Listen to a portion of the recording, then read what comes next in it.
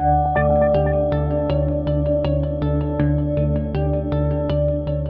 à tous, donc euh, merci euh, d'être là pour le premier débat euh, du César de cette année. Donc on est très heureux d'accueillir ce soir Lewis Clormeus pour un débat autour de ses deux derniers ouvrages parus à échéance, le premier paru en 2015 et le second tout juste paru au plus bas qui, qui, sort des presses. Euh, donc on le remercie beaucoup d'être là.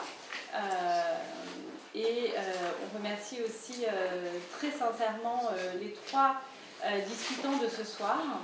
Donc Kali Argeriadis, qui est anthropologue, chargée de recherche à l'IRD, et qui discutera plus précisément le premier ouvrage. Maud Laetier, elle aussi euh, chargée euh, à l'IRD euh, et qui discutera plus précisément le deuxième ouvrage dont elle a rédigé la postface, donc ce dernier ouvrage qui vient tout juste de paraître, et Federico Varasso, qui est donc cinéaste et qui a fait un film sur le vaudou en Haïti et qui lui aussi discutera plus précisément le premier ouvrage. Donc ce débat va porter euh, de façon générale sur le vaudou en Haïti. Euh, et avant de donner euh, la parole à nos discutants, Nathalie Lucas voudrait dire un petit mot. oui, vraiment un, vraiment un tout petit mot pour vous remercier d'être là tous les quatre au nom du, César, mais tout particulièrement Lewis, puisqu'on connaît les, grosses difficultés euh, d'Haïti actuellement. Lewis est venu spécialement pour cette conférence. Il fait l'aller-retour en l'espace de quelques jours, alors même qu'il est directement touché euh, par, euh, par les sinistres d'Haïti. De, et on le connaît bien, il a fait sa thèse à l'ex-CUIFR avec moi sur la, répression euh, du, vaudou, justement, hein, sur des campagnes anti-superstition du début, de la fin du 19e siècle, début du 20e siècle. Euh, il a fini sa thèse, il a eu le temps de publier plusieurs livres, il est extrêmement actif et investi dans la recherche et engagé pour que la recherche sur le religieux puisse progresser en Haïti et pas seulement justement sur le vaudou. Donc, euh, un grand merci euh, d'être venu jusqu'à nous, Lewis, en, dépit de, la situation absolument dramatique que euh, nous connaissons tous en Haïti. Merci. Voilà, donc je, donne la parole euh, tout de suite à Kalia Génétis. Ben, merci beaucoup, merci au César, à Anna et à Nathalie de, de m'avoir invitée et je suis d'autant plus intéressée par par le commentaire de ce livre que, j'ai l'honneur, euh, le privilège de travailler euh, avec Lewis, euh, avec Maud et puis avec d'autres collègues sur un projet qui vise à faire l'histoire comparée des anthropologies cubaines et haïtiennes, dont Maud reparlera sans doute plus longuement. Donc le, le, ce livre de Lewis m'a tout particulièrement intéressé. Donc le premier, le vaudoisien entre mythe et construction savante, euh, dans une perspective comparatiste avec euh, l'histoire euh, de l'anthropologie et de l'anthropologie qui s'intéresse aux pratiques religieuses à Cuba. Alors, euh, ben, ce livre, euh, il a pour objectif d'examiner des textes du 19e siècle qui, vont parler du vaudou. Euh, ces textes émanent de voyageurs, de prêtres, de scientifiques, de journalistes. et Lewis va les, analyser, va, va, en analyser la nature et la portée, et en particulier la nature et la portée des préjugés que ces textes charrient. Euh, de façon à contribuer à une historiographie justement des religions et des idées politiques, sociales et culturelles en Haïti à cette époque. Euh, c'est une époque d'autant plus importante et intéressante que euh, on, connaît, ou en tout cas depuis Cuba, on connaît un certain nombre d'intellectuels haïtiens comme Anténor Firmin ou un peu moins Louis-Joseph Janvier, qui s'y sont illustrés parce qu'ils étaient de fervents détracteurs des thèses racistes euh, contemporaines. et qui défendait Haïti face aux campagnes de dénigrement dont ce pays était l'objet, notamment en France, où donc manifestement euh, la défaite et l'avènement d'une république noire n'avaient toujours pas été digérés. Donc euh, la question qui se pose et que, pose le livre de, Lewis, c'est pourquoi, euh, à cette époque pourtant très avancée, il y a cette persistance à considérer le vaudou avec horreur. Alors le livre, il est, construit en deux parties. Euh, la première partie, c'est un essai critique sur lequel je vais revenir, et puis une autre, la, plus volumineuse et, non pas la moins intéressante, euh, qui est une compilation d'extraits de ces textes, euh, donc sélectionnés par Lewis, qui sont des textes pour les uns déjà assez connus et d'autres complètement inconnus. Euh, assorti bien sûr d'un commentaire euh, sur l'auteur, sur le contexte de production du document, et organisé dans un ordre chronologique. Donc ça va ben, d'un extrait du, texte classique de Moreau de Saint-Méry qui date de 1797 à euh, des articles de journaux français et haïtiens en 1914, à la veille de l'occupation américaine qui est l'événement qui marque, comme nous l'explique Lewis, la fin du 19e siècle en Haïti Donc, euh, oui, d'abord, euh, dire que ce livre constitue un, document euh, passionnant par le fait qu'il y a ces textes qui sont reproduits là et qui peuvent servir de matière à toutes les personnes qui s'intéressent à ces questions. une matière brute ou presque. et c'est toujours appréciable d'avoir comme ça sous la main des choses qui sont normalement très difficiles à se procurer. Alors je vais revenir euh, plus particulièrement sur euh, la première partie, sur euh, l'essai critique, pour essayer de, vous montrer quel, en est l'intérêt, en tout cas de, mon point de vue. J'oublierai certainement des choses, mais heureusement Federico sera là pour compléter, pour avoir un, autre point de vue avec une approche différente. Donc, dans cet essai critique, Lewis, tu commences par essayer de, de comprendre quels ont été les premiers efforts de définition et les modes d'approche euh, qui ont contribué à cette diabolisation euh, du vaudou. Donc pour ces chroniqueurs, voyageurs, euh, scientifiques et journalistes étrangers d'abord, le vaudou était un objet de curiosité qu'ils abordaient toujours sans l'observer directement, de deuxième main. Euh, un objet de curiosité et même de sarcasme, contrairement euh, au texte des intellectuels euh, et des politiques haïtiens qui, eux, influencés par le positivisme, s'attachaient au contraire à presque cacher ou minimiser ou même parfois nier l'existence ou l'importance du vaudou en Haïti, parce que pour eux, ces pratiques religieuses étaient un objet de honte, et il y avait donc des débats entre eux pour euh, éclairer euh, cette question. alors de honte, pourquoi? Ben, Parce que ces premières définitions, elles sont toutes stigmatisantes, plus stigmatisantes les unes que les autres. Je reprends très rapidement les textes que tu as toi-même les, pardon, les termes que tu as toi-même répertoriés.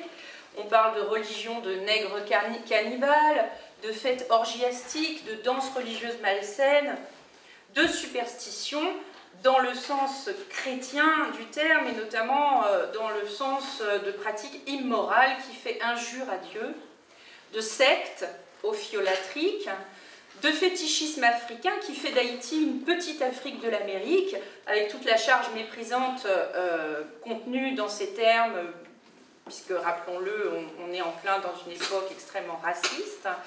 Euh, contrairement à ce que donc les intellectuels haïtiens voulaient mettre en avant, l'idée d'une France noire.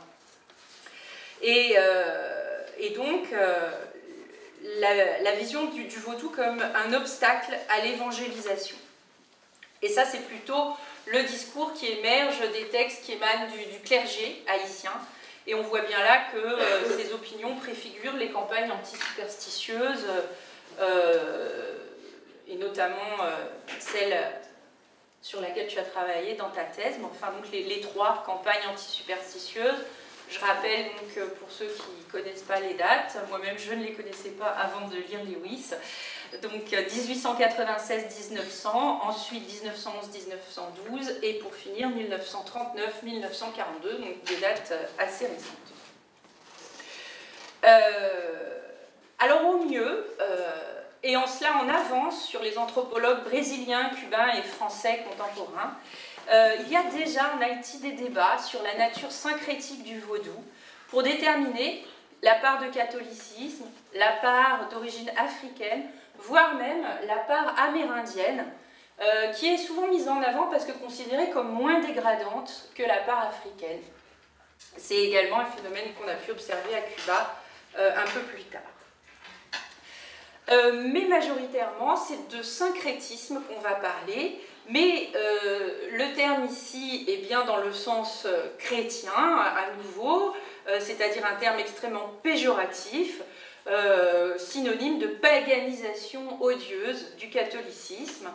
Et il faudra attendre euh, des textes comme ceux de Justin Chrysostome d'Orsainville en 1924, si j'ai bien compris, mais je vais y revenir parce que là j'ai un doute et je te poserai une question, euh, pour qu'il première identification sérieuse à travers l'étude de la langue des origines et fonds du vaudou soit faite. Alors ensuite, dans le livre, dans, le deuxième, bon là c'était le premier chapitre, dans le deuxième chapitre, tu analyses les principaux clichés qui sature les discours et qui empêche une description vraiment scientifique au XIXe siècle euh, des pratiques religieuses. Euh, alors, tu le fais en donnant des compléments d'information apportés euh, à travers ce que tu présentes des travaux postérieurs qui ont été faits sur ces questions pour donner justement, si j'ai bien compris, ton ton approche pour donner au lecteur des pistes qui nous permettent de dépasser ces clichés. Parce qu'effectivement, euh, quand on ne connaît pas euh, le sujet, c'est vrai que du vaudou, on a nous-mêmes, a priori, une image euh, assez saturée par ces clichés, qui sont toujours d'actualité. alors, certains clichés ont un peu disparu. C'est le cas de, de, celui de la nature ophiolatrique païenne du vaudou, ou euh, l'idée de la nature diabolique de la possession, qui sera plus tard, au début du XXe siècle, étudiée plutôt euh, sous l'angle d'une manifestation euh, de désordre psychiatrique à travers les travaux d'auteurs comme Léon Audin ou justement d'Orsainville. Et puis l'idée que ce sont des pratiques de sorcellerie, avec une intéressante exception que tu, que tu relèves de certains auteurs euh, plutôt français, euh, qui, qui, sont issus des cercles ésotériques occidentaux et qui s'intéressent au vaudou euh, de ce point de vue-là. Donc pour lesquels le vaudou n'est pas une sorcellerie, mais une forme d'ésotérisme tout à fait intéressante. Et c'est quelque chose, un intérêt qui me semble n'a pas faibli depuis. Enfin ça, tu, répondras à cette interrogation. Alors par contre, d'autres clichés ont la vie dure. Bien entendu, euh, celui euh, de l'association du vaudou au crime rituel, au sacrifice d'enfants euh, et au cannibalisme. Donc, ces clichés semblent atteindre leur paroxysme à partir d'une affaire qui défrait la chronique en 1863, l'affaire Clercine, une petite fille qui aurait été sacrifiée et mangée dans le cadre de rituels qu'on suppose vaudou. Euh, et donc une affaire qui, bien entendu, euh, avec toute l'horreur euh, qui, est reproduite dans les médias autour de cette affaire, marque les esprits et qui va être reprise, et à mon avis, c'est pas anodin, dans l'ouvrage du consul britannique Spencer St. John en 1886, Haïti ou la République, la République noire, et puis ensuite par d'autres auteurs, et euh, donc textes qui vont nourrir l'imagination des journalistes et aussi déjà des auteurs de littérature d'épouvante à cette époque. Donc on voit bien là comment s'est construit à l'étranger une association de la République d'Haïti et des Haïtiens avec le paroxysme de la barbarie, une construction euh, qui, euh, encore plus ou moins en vigueur, hein, et moi, ce qui m'a intéressé euh, là-dedans, c'est que euh, ça fait tout à fait écho euh, aux travaux d'un historien cubain qui s'appelle Juan Pérez de la Riva et qui a bien montré, bon, dans les années 60, comment cette métaphore de la barbarie associée à cette république noire a servi de repoussoir à la couronne espagnole contre les velléités abolitionnistes et indépendantistes de ses ressortissants de toute couleur de peau, je précise, dans ces colonies, en particulier à Cuba. Et comment ce mythe, ce péril noir, comme on appelle euh, ça à Cuba, a ensuite été à nouveau réactualisé dans les années 20 pour servir les intérêts des grandes compagnies sucrières américaines en faisant des ouvriers agricoles migrants haïtiens à Cuba les boucs émissaires corvéables à merci des campagnes racistes qui, avaient cours à cette époque, en les accusant à nouveau d'immoler des enfants blancs, pour le coup, pour leur donner leur cœur et leur sang dans des sacrifices rituels atroces. Enfin, le dernier cliché qui naît à cette époque et qui perturbe encore le débat sur la légitimité du vaudou en Haïti, euh, expliques-tu, c'est celui de la zombification. Et tu remarques bien qu'en réalité, le terme ne naît qu'au XXe siècle et qu'il est popularisé notamment internationalement par le livre de Seabrook, L'île magique, 1928, et tous les films d'horreur qui ont suivi euh, dans cette lignée-là, autour des zombies. Euh, tandis qu'au XIXe siècle, tu montres bien, il est plutôt fait état de l'existence d'une catégorie au contenu finalement assez flou, celle de zombies, euh, se rapportant à des esprits, des fantômes, plusieurs en fait sortes d'entités. Euh, ce qui te mène à la fin du chapitre à questionner cette association quasi systématique qui est faite de la zombification en tant que pratique particulière au vaudou lui-même en tant que pratique religieuse.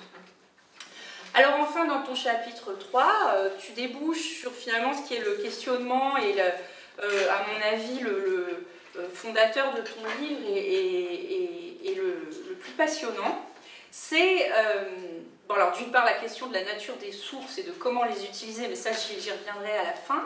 Et puis cette question de fond, donc, qu'est-ce qu'on entend par vaudou à l'époque? Euh, Quand ces auteurs décrivent des pratiques de culte idolâtre ou de superstition africaine, finalement le terme vaudou n'est pas si souvent utilisé, et pas toujours, et pas à propos de n'importe quoi. Euh, et, tu remarques aussi que les auteurs du XVIIIe siècle, pour le coup, l'utilisent quasiment pas du tout.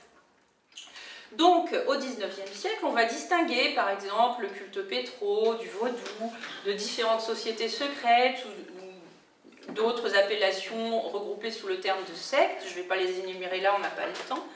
Euh, parfois, le, terme vaudou est synonyme de sorcier euh, et donc finalement c'est un terme générique, polysémique, qui renvoie à, et là je te cite, page 119, l'ensemble des traditions religieuses non conformes à l'orthodoxie catholique.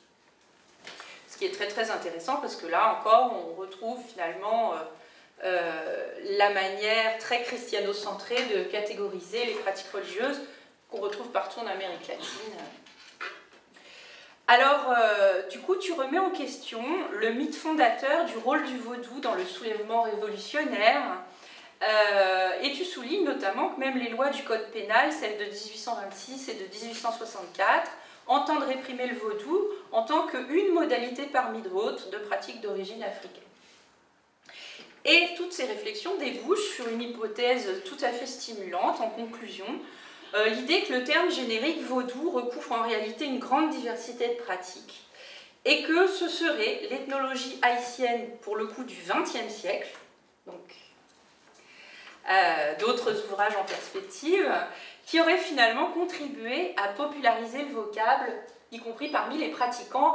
Et si je te suis, et là peut-être tu me corrigeras, euh, le fait que ce soit le terme employé par euh, les, universitaires ou, les intellectuels va, en quelque sorte euh, faire que les pratiquants eux-mêmes vont s'en servir un peu comme étendard légitimement. Mm. si je t'ai bien compris, c'était l'idée. Alors j'ai trouvé que cette idée tout à fait stimulante, intéressante, parce que on observe tout à fait le même phénomène à Cuba, où on peut se livrer comme ça à une généalogie des termes utilisés, ou au contraire tomber en désuétude, dans une interaction constante entre les chercheurs et leurs informateurs, qui sont les pratiquants.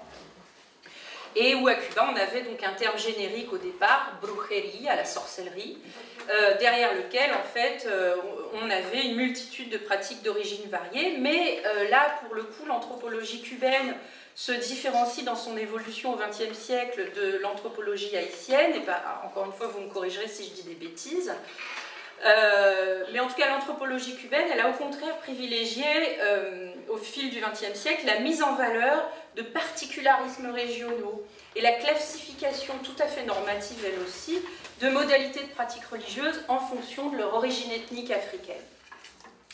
Or, pourtant, euh, ces pratiques-là, dans leur diversité, y compris le vaudou pratiqué par les descendants d'Haïtiens à Cuba, euh, bien que conservant chacune des spécificités et une cohérence interne, sont tout à fait cumulables et complémentaires les unes des autres à Cuba, de même que euh, le spiritisme ou le culte des saints et des vierges catholiques. Et l'ensemble forme un système. Donc euh, ma question, ce serait, qu'en est-il en Haïti? Bien entendu, c'est une question ouverte qui, j'imagine, agite beaucoup les débats des anthropologues qui travaillent sur Haïti. Et euh, qu'en est-il aussi euh, de ce qu'on peut observer euh, dans, le reste de l'Amérique, du continent américain, sur les, les, processus de transnationalisation de ces pratiques religieuses dites afro-américaines, les luttes de pouvoir que ça génère, l'enjeu étant d'être garant de la tradition la plus pure, les uns cherchant euh, dans le retour à la tradition africaine, euh, justement, cette authenticité traditionnelle, d'autres au contraire euh, défendant la tradition de chacun des pays concernés, Brésil, Cuba, Haïti, etc. Donc que se passe-t-il en Haïti? Et, et, puis une question pour toi, alors du coup, pourquoi continuer à parler du vaudou comme terme générique et bon, peut-être tout simplement parce que c'est ce qu'il y a de plus parlant euh, pour le lecteur lambda. Voilà. Et euh, je voudrais aussi te poser une question euh, sans doute naïve à propos des sources. Donc tu as choisi ce corpus de sources et je me demandais si c'était les seules sources disponibles en Haïti. parce qu'à Cuba, il est possible de croiser ce type de texte, on retrouve tout à fait le même genre de texte, hein, mais avec des documents légaux qui portent sur la création, les activités ou la transmission des biens et des titres euh, de, de sortes de sociétés d'entraide qui s'appelaient les Cabildos des Nations et qui étaient une institution permise par la couronne espagnole euh, à travers lesquelles se sont euh, en partie reproduites ou recréées des pratiques religieuses d'origine africaine et ça de façon tout à fait légale. Donc il y a toutes sortes de documents qui, légaux qui nous permettent d'avoir une vision euh, euh, de, ces pratiques. Il y a également des rapports de police euh, nombreux, parce que ces pratiques étaient considérées comme criminelles. il y avait toute une législation également anti, contre les pratiques dites de sorcellerie, etc. Mais les rapports de police sont très très intéressants parce qu'on sait maintenant que certains des auteurs de ces rapports ou leurs informateurs qui ont contribué à leur rédaction étaient eux-mêmes des initiés. Donc euh, en fait, ça constitue des, textes, des, des, approches de première main en quelque sorte, même si bien entendu il faut les prendre avec toutes les précautions qui s'imposent. Et puis il y a aussi euh, les objets confisqués, les notices qui éventuellement les accompagnaient. Qu'en est-il en Haïti? Où sont-ils?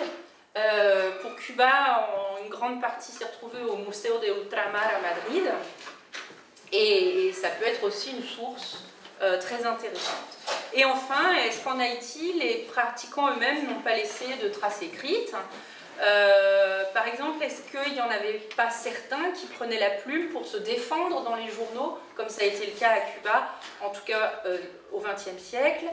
Est-ce qu'il n'y avait pas, comme à Cuba, des cahiers personnels conservés par les descendants biologiques ou rituels des adeptes? Euh, et est-ce que parmi ces pratiquants, aucun n'est retourné en Afrique de l'Ouest puis revenu, comme cela est documenté pour le cas de Cuba et aussi du Brésil?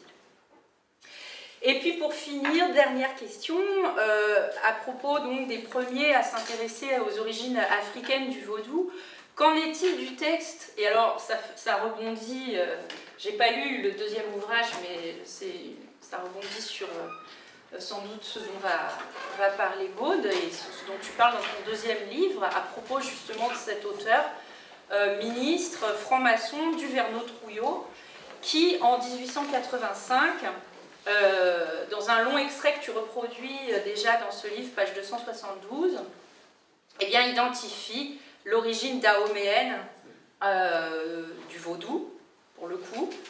Euh, et, alors, j'ai trouvé ça passionnant parce qu'il reproduit euh, notamment des légendes à propos du royaume du Dahomey qui, qui ressemblent complètement à celles qu'on peut trouver dans le corpus du système divinatoire d'Ifa.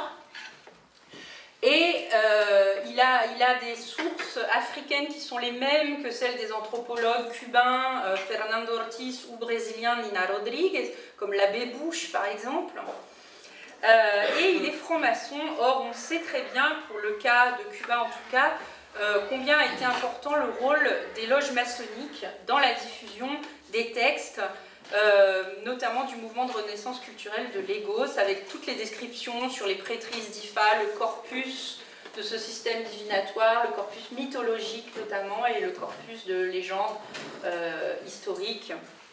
Donc, euh, est-ce que cette affiliation à la franc-maçonnerie de Duverneau-Trouillot, et est-ce qu'en allant fouiller dans les archives des loges maçonniques, on n'aurait pas là encore des sources euh, intéressante. Voilà. Et tout ça rejoint bah, ma question précédente, euh, puisque ça émet l'hypothèse euh, d'une compatibilité, voire d'une porosité entre les pratiques religieuses en Haïti, franc-maçonnerie, vaudou. Voilà, je m'arrête là, en tout cas, pour ce qui est de ma lecture. Alors, merci d'abord Kali pour l'appréciation du livre. Effectivement, tu as soulevé pas mal de, questions que je vais essayer de répondre assez rapidement. Euh, en Haïti, euh, il y a un débat actuellement sur euh, la nécessité de réafricaniser le culte vaudou. Et, et alors, ce qui ne fait pas l'unanimité, en tout cas chez les pratiquants, parce qu'il y en a qui croient qu'il faut désormais aller vers une modernité, une modernité qui serait qui serait synonyme de, christianiser davantage euh, le vaudou. Alors par exemple, on parle d'église vaudou d'Haïti, euh, donc ça, dit beaucoup de choses, ça dit beaucoup de choses. Alors il faut dire que moi je continue, je continue à, employer le terme vaudou parce que moi je ne vois pas, jusqu'à présent je ne vois pas par quoi remplacer ça. Et par exemple, il y a certains, moi j'ai discuté avec un chercheur qui me disait, bon, peut-être qu'il faudrait parler de culte afro, afro-haïtien, et tout comme on ah. parle de culte afro-cubain, et parce qu'il pense que euh, le vaudou ne traduit pas véritablement euh, la réalité. Alors le terme vaudou, le terme vaudou est diversement interprété parmi les pratiquants. Alors j'aimerais tout simplement vous faire remarquer que Charles Ferdinand Prissoir, en 1947, euh, a précisé que depuis la publication de Duverneau-Trouillot sur le vaudou 1885, le terme, il dit, c'est lui qui parle, le terme générique de vaudou est utilisé improprement par la majorité de nos anthropologues de nos, ethnologues pour qualifier l'ensemble de la religion afro-haïtienne. Déjà, lui, il emploie euh, euh, l'expression afro-haïtienne et il dit très clairement euh, que le vaudou doit être considéré comme un terme générique. Et d'ailleurs, quand on demande à des gens qui ont 80, 90 ans, est-ce qu'ils sont vaudouisants, et c'est quoi le vaudou pour eux, eh bien, la plupart disent qu'ils ne sont pas vaudouisants mais plutôt qu'il, qui, alors on dit en créole, moins servi. Alors, je, littéralement en français, je sers. Et, vous servez quoi? Bon, je sers des anges, je sers euh, euh, les anges, alors c'est l'esprit des ancêtres, etc. Mais le problème, c'est que euh, eux, pour eux, et, le vaudou, c'est, comme un rite, c'est comme, comme une danse particulière, une danse sacrée. Et donc, euh, pour, euh, ils peuvent dire que non, non, non, quand ils disent que nous ne pratiquons pas le vaudou, ça veut dire tout simplement que nous ne pratiquons pas cette danse. Nous, mais, il y en a qui m'ont dit que c'est à part c'est en, en, venant à Port-au-Prince dans les années 60-70 qu'ils ont appris qu'ils sont des vaudouisants. En tout cas, c'est des enquêtes qu'il faut continuer à faire et, pour comprendre, pour, mieux saisir cette question-là. Alors, est-ce que, je sais que par exemple, certains anthropologues disent que euh, le terme religion euh, n'est pas traduisible dans toutes les langues, donc il n'y a pas d'équivalent dans toutes les cultures. Est-ce que, et, moi j'ai fait l'expérience encore récemment avec mes étudiants à la faculté d'ethnologie, il y, en a, il y en a qui disent qu'en Haïti, il n'y a que les religions chrétiennes, l'islam et les nouveaux mouvements religieux qui se développent, mais le vaudou n'est pas une religion. Le vaudou n'est pas une religion.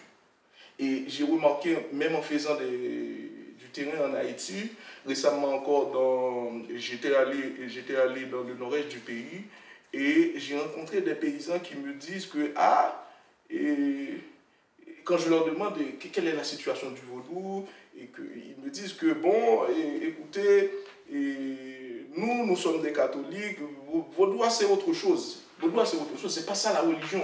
Pour eux, c'est pas ça la religion.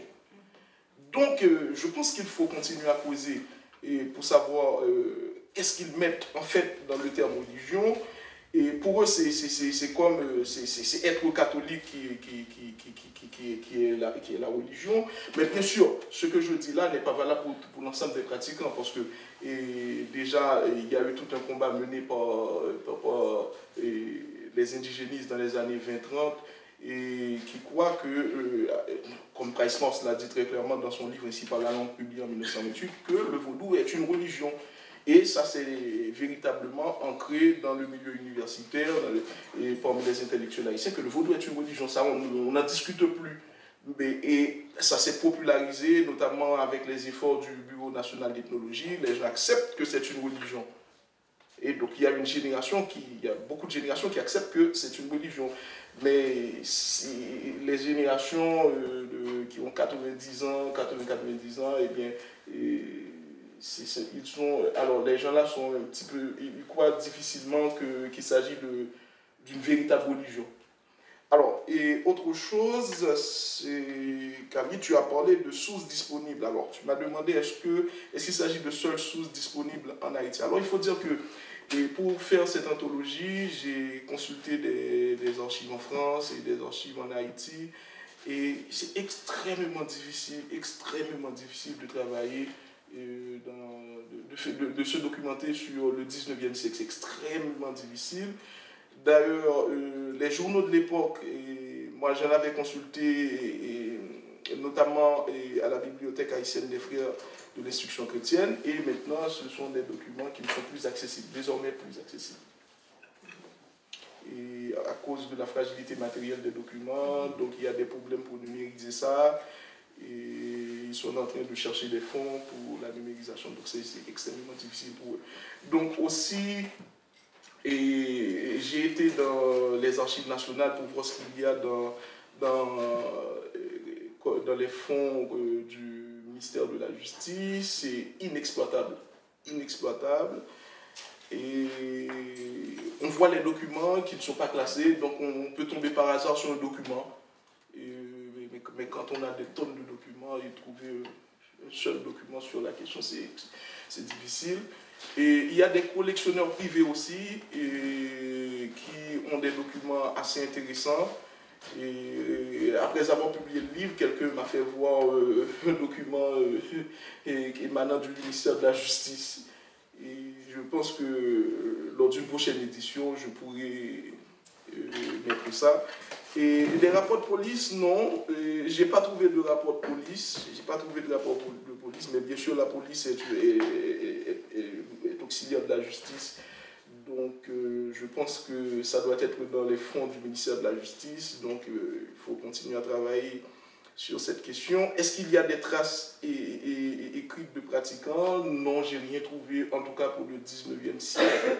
Sinon que je crois avoir remarqué, mais encore, c'est tout récemment que j'ai trouvé ça, euh, que prêtre du Vaudou dans les années 1870 prend, prend, alors, et, écrit dans un journal pour dire que mais qu'est-ce qu'on pense là et vous, vous, ne me faites pas peur quand vous pensez alors quand vous ne me faites pas peur parce que moi j'ai des doigts comme tout haïtien etc et de pratiquer mon culte, etc. ça, c'est le texte. Alors, et, aussi, tu m'as demandé où sont passés les objets confisqués. Et généralement, quand les objets sont confisqués, il me semble qu'ils sont détruits ou ils se trouvent dans des musées, dans des musées aux États-Unis particulièrement, mais aussi, j'en ai parlé dans le livre, il y en a qui sont en France et même en Allemagne. Et est-ce qu'il y a des gens qui seraient retournés en Afrique de l'Ouest? Ça, je ne sais pas, sauf que je sais qu'à la fin du 19e siècle, il y a eu des, il y a eu quelques personnalités. En tout cas, moi j'en connais un, Benito Sylvain, qui est allé jusqu'en Éthiopie et qui a écrit euh, sur l'esclavage aussi, qui a été quelqu'un qui était très engagé dans euh, les débats sur la race l'affiliation à la franc-maçonnerie. En tout cas, moi, je pense que c'est un... Je pense qu'il faut réfléchir sérieusement sur ce qui se passait dans les loges maçonniques au 19e siècle. J'ai écrit un article dans lequel j'explique très clairement qu'il y a eu des débats. Il y a eu des débats. Euh, parce que, en fait, c'est l'un des, des, seuls espaces disponibles dans la société à l'époque, au 19e siècle, où on pouvait discuter de tout. Parce qu'on doit mettre de côté ses affiliations politiques, ses affiliations religieuses, et pas de question de couleur, etc. Donc euh, on discute de tout. Et donc euh, il faudrait voir comment, il faudrait vraiment investiguer pour savoir et dans quelle mesure cette franc-maçonnerie a contribué à développer ou encore à propager certaines idées, en tout cas dans les milieux universitaires, dans les milieux intellectuels en Haïti. Et ceci, il faut dire que c'est extrêmement difficile parce que les loges maçonniques euh, refusent euh, de collaborer. Il faut être initié de la franc-maçonnerie pour euh, avoir accès à ces documents. Et encore là, il faut dire que la franc-maçonnerie n'a pas beaucoup d'archives non plus. Parce que quand un vénérable part, quand il meurt, généralement il avait bon, c'est, en tout cas, c'est une pratique regrettable. Eh bien, il arrive que si par exemple il se convertit, il détruit tout ce qu'il avait de, il se convertit au protestantisme évangélique, donc il détruit tout ce qu'il y avait euh, comme écrit sur la franc-maçonnerie. Et si par exemple, il fait, lors quand, quand, par exemple il va mourir, il consulte le prêtre, le prêtre lui demande de, lui remettre les, les, documents pour destruction, sans problème. Et il y a eu aussi beaucoup d'incendies, beaucoup d'incendies qui ont plongé et Port-au-Prince dans une situation où beaucoup de, pièces importantes de l'histoire nationale sont portées disparues. Donc, c'est euh, extrêmement difficile de, de, fouiller dans ce sens-là.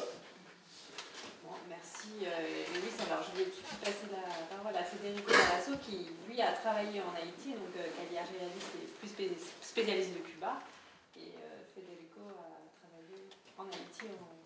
tout d'abord, euh, il y a déjà beaucoup de choses qui ont été dites et on, donc, je suis chargé également de parler de ce même ouvrage. Je ne pense pas qu'il fonctionne, le micro.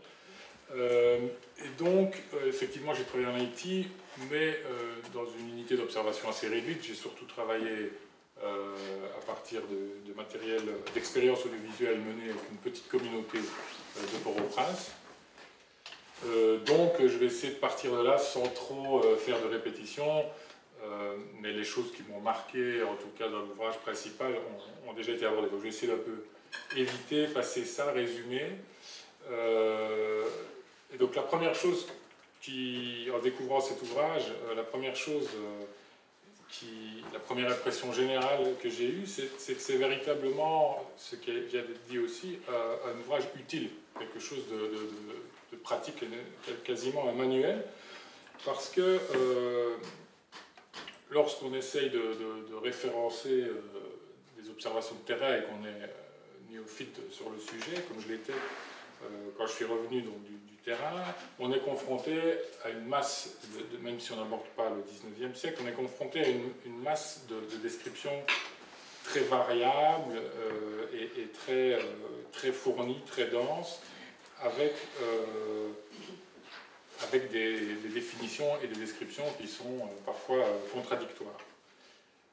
Donc la tentative de, cet ouvrage, qui tente de retracer donc, les descriptions, les définitions à travers surtout le, le 19e siècle, est véritablement utile pour s'y retrouver, même sur les écrits du 20e qu'on trouve ici en France. Donc euh, le 19e siècle est un choix euh, évident apparemment, puisque, de tout, puisque Haïti euh, a gagné son indépendance en 1804. Donc les écrits qui ont été faits après, à mon avis, focalisent beaucoup plus de clichés et de stéréotypes qui sont l'objet de cet ouvrage. Donc, il m'a semblé que l'ouvrage propose un, questionnement sur les influences euh, que ces descriptions entretiennent les unes avec les autres, à travers le temps, et euh, avec la société dans laquelle elles prennent naissance, voir quelle influence à leur tour, du moins ce que j'ai ressenti à la lecture. L'ouvrage euh, déborde également sur un certain nombre d'écrits du XVIIIe et du XXe pour contextualiser ces écrits du XIXe. Donc au fil de la lecture des deux premiers chapitres, dédiés respectivement, on, l'a déjà dit, euh, aux définitions d'abord et aux descriptions du vaudou sur cette période du XIXe siècle, se révèle ce qu'on pourrait qualifier euh, quasiment de prise d'otage descriptive. Je ne sais pas si tu seras d'accord avec ça.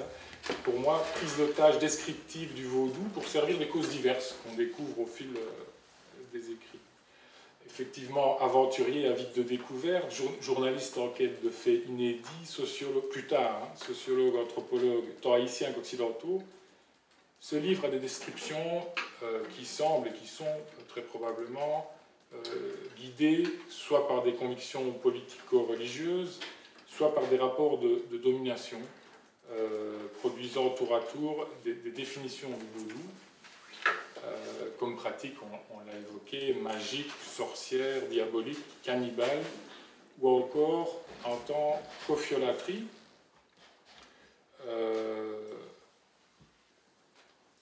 l'ouvrage qui est fondé en, deuxième partie sur une compilation de ces textes historiques, on vient de le dire, qui sont parfois rares, en tout cas une bonne part dont je n'avais pas connaissance, euh, offre une vue assez précise, justement, comme le titre l'indique, euh, d'étapes de la construction de l'objet, notamment un, des cas les plus intéressants, c'est l'ophiolâtrie.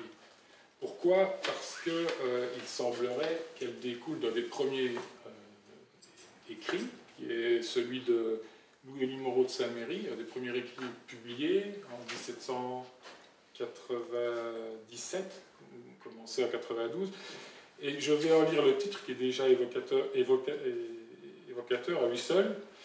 Euh, description topographique, physique, civile, politique et historique de la partie française de l'île de Saint-Domingue et observation générale sur la population, le caractère et les mœurs de ses divers habitants. Tout un programme qui semblerait, mais là je ne suis pas très sûr, est en quelque sorte une commande de l'administration coloniale, si j'ai bien compris, puisqu'il travaille à il a aussi fait le même ouvrage euh, sur la partie espagnole de l'île de Saint-Domingue. Et on peut, on, peut, on peut avoir cette impression qu'il s'agit véritablement d'une commande qui sert à, gérer euh, la colonie. Dans euh, cet ouvrage qui fait référence sur tout le, le 19e, hein, sur cette question d'ophiolâtrie, on voit que la plupart des auteurs reprennent des descriptions, parfois mot pour mot, au fil de, la compilation de textes qui concernent l'ophiolâtrie, reprennent quasiment les descriptions de, Louis-Élie Moreau, de Saint-Méry, et probablement sans s'être livré à aucune observation de rite sur le terrain. À ce sujet, donc au sujet de l'ophiolâtrie, deux, notes euh, qui sont présentes dans l'ouvrage, une de Enoch Trouillot, qui souligne, donc c'est un historien à partir du XXe siècle qui souligne euh, de nombreuses lacunes sont présentes dans les descriptions de cérémonies vaudou jusqu'à la fin du XIXe siècle, alors que singulièrement, la présence de la couleur reste un élément constant, à tel point que le vaudou fut assimilé à un culte d'ophiolâtrie. Donc ça, c'est à peu près ce qu'on vient de dire. Mais on peut lire aussi qu'à la fin du, du 19e, l'ethnologue américain, c'est important qu'il soit américain, William Wells Newell notait toute une génération d'auteurs haïtiens et français particulièrement ont prolongé les premières descriptions d'un culte vaudou, orthographié comme dans les écrits de Louis Elie, V-A-U-D-O-X, ophiolaterie fondée sur euh, les premières descriptions de Moreau de Saint-Mérique publiées 100 ans plus tôt. Donc il a, noté ça, et, précise que cela reflète une position géopolitique de la France et du clergé vis-à-vis d'Haïti à cette période, euh, visant à diaboliser le culte bien plus qu'à décrire euh, celui-ci en s'appuyant sur des observations directes. Et que, donc, durant le XIXe siècle, à force de répéter cette même euh, euh, description du vaudou, on finit par asseoir euh, son évidence. Donc on devine évidemment les bénéfices secondaires que le, clergé peut tirer, pour diaboliser le vaudou avec cette image de, puisque le serpent dans l'imaginaire chrétien est une figure de tentateur ou diabolique. Et donc on poursuit toujours sur ce chapitre euh, qui est détaillé point par point par euh, stigmate, on va dire. On poursuit avec d'autres éléments de diabolisation, notamment la crise de possession et le cannibalisme, dont est aussi euh, affublé vaudou, comme on vient de, le dire aussi. et donc, dans l'imaginaire chrétien aussi, le diable euh, s'empare des ressources physiques de la personne. Et des missionnaires chrétiens, euh, dont on peut lire les textes dans la deuxième partie, se livrent des descriptions dans ce sens concernant le vaudou euh, haïtien. Des missionnaires qui ont, si j'ai bien compris, déjà procédé au même genre de description par rapport aux possessions ou Dahomey. Donc, plus tard, au XXe siècle, on a parlé de, d'Orsainville, effectivement, à mon avis, c'était un des, plus prolifiques. Je ne sais pas s'il était médecin ou psychiatre. En tout cas, il est euh, un personnage qui, après, euh, euh, tente d'expliquer le phénomène de possession, obtenu, selon lui, par, selon lui, qui est une psychonévrose religieuse, de manière contemporaine, d'autres médecins essayent d'expliquer donc, le, phénomène de possession par l'utilisation de plantes narcotiques ou d'alcool. Ces approches, il m'a semblé, euh, peuvent peut-être participer à légitimer ou plutôt expliquer euh, les sacrifices euh, rituels qui font l'objet d'une lourde stigmatisation du vaudou à l'époque, où l'on parle de sacrifice humain. Donc on taxe le vaudou de cannibalisme, et ces auteurs-là qui ne sont pas spécialement positifs, mais en tout cas tentent de donner euh, peut-être le change en, disant euh, la possession peut amener au sacrifice parce qu'on est dans un état second, quelque chose, tout, tout, juste de choses. donc, stéréotype du cannibalisme, comme on l'a dit, qui a eu une, une forte poussée avec cette affaire, l'affaire Clercine, je ne me souviens plus si tu l'avais détaillé, mais en fait c'est quelque chose de vraiment catastrophique euh, qui, a marqué le 19e en 1864. À mon avis, la presse internationale aussi s'en est emparée, où plusieurs affaires où plusieurs adeptes du vaudou ont reconnu euh, publiquement avoir mangé une enfant euh, et ont été jugés et condamnés officiellement à mort en 1864 par la justice haïtienne. Donc à partir de là, les arguments de cannibalisme ont, pris euh, euh, du poids et euh, ces, descriptions-là sont contemporaines. Donc cette vision d'un vaudou fait de cannibale, de sorcier,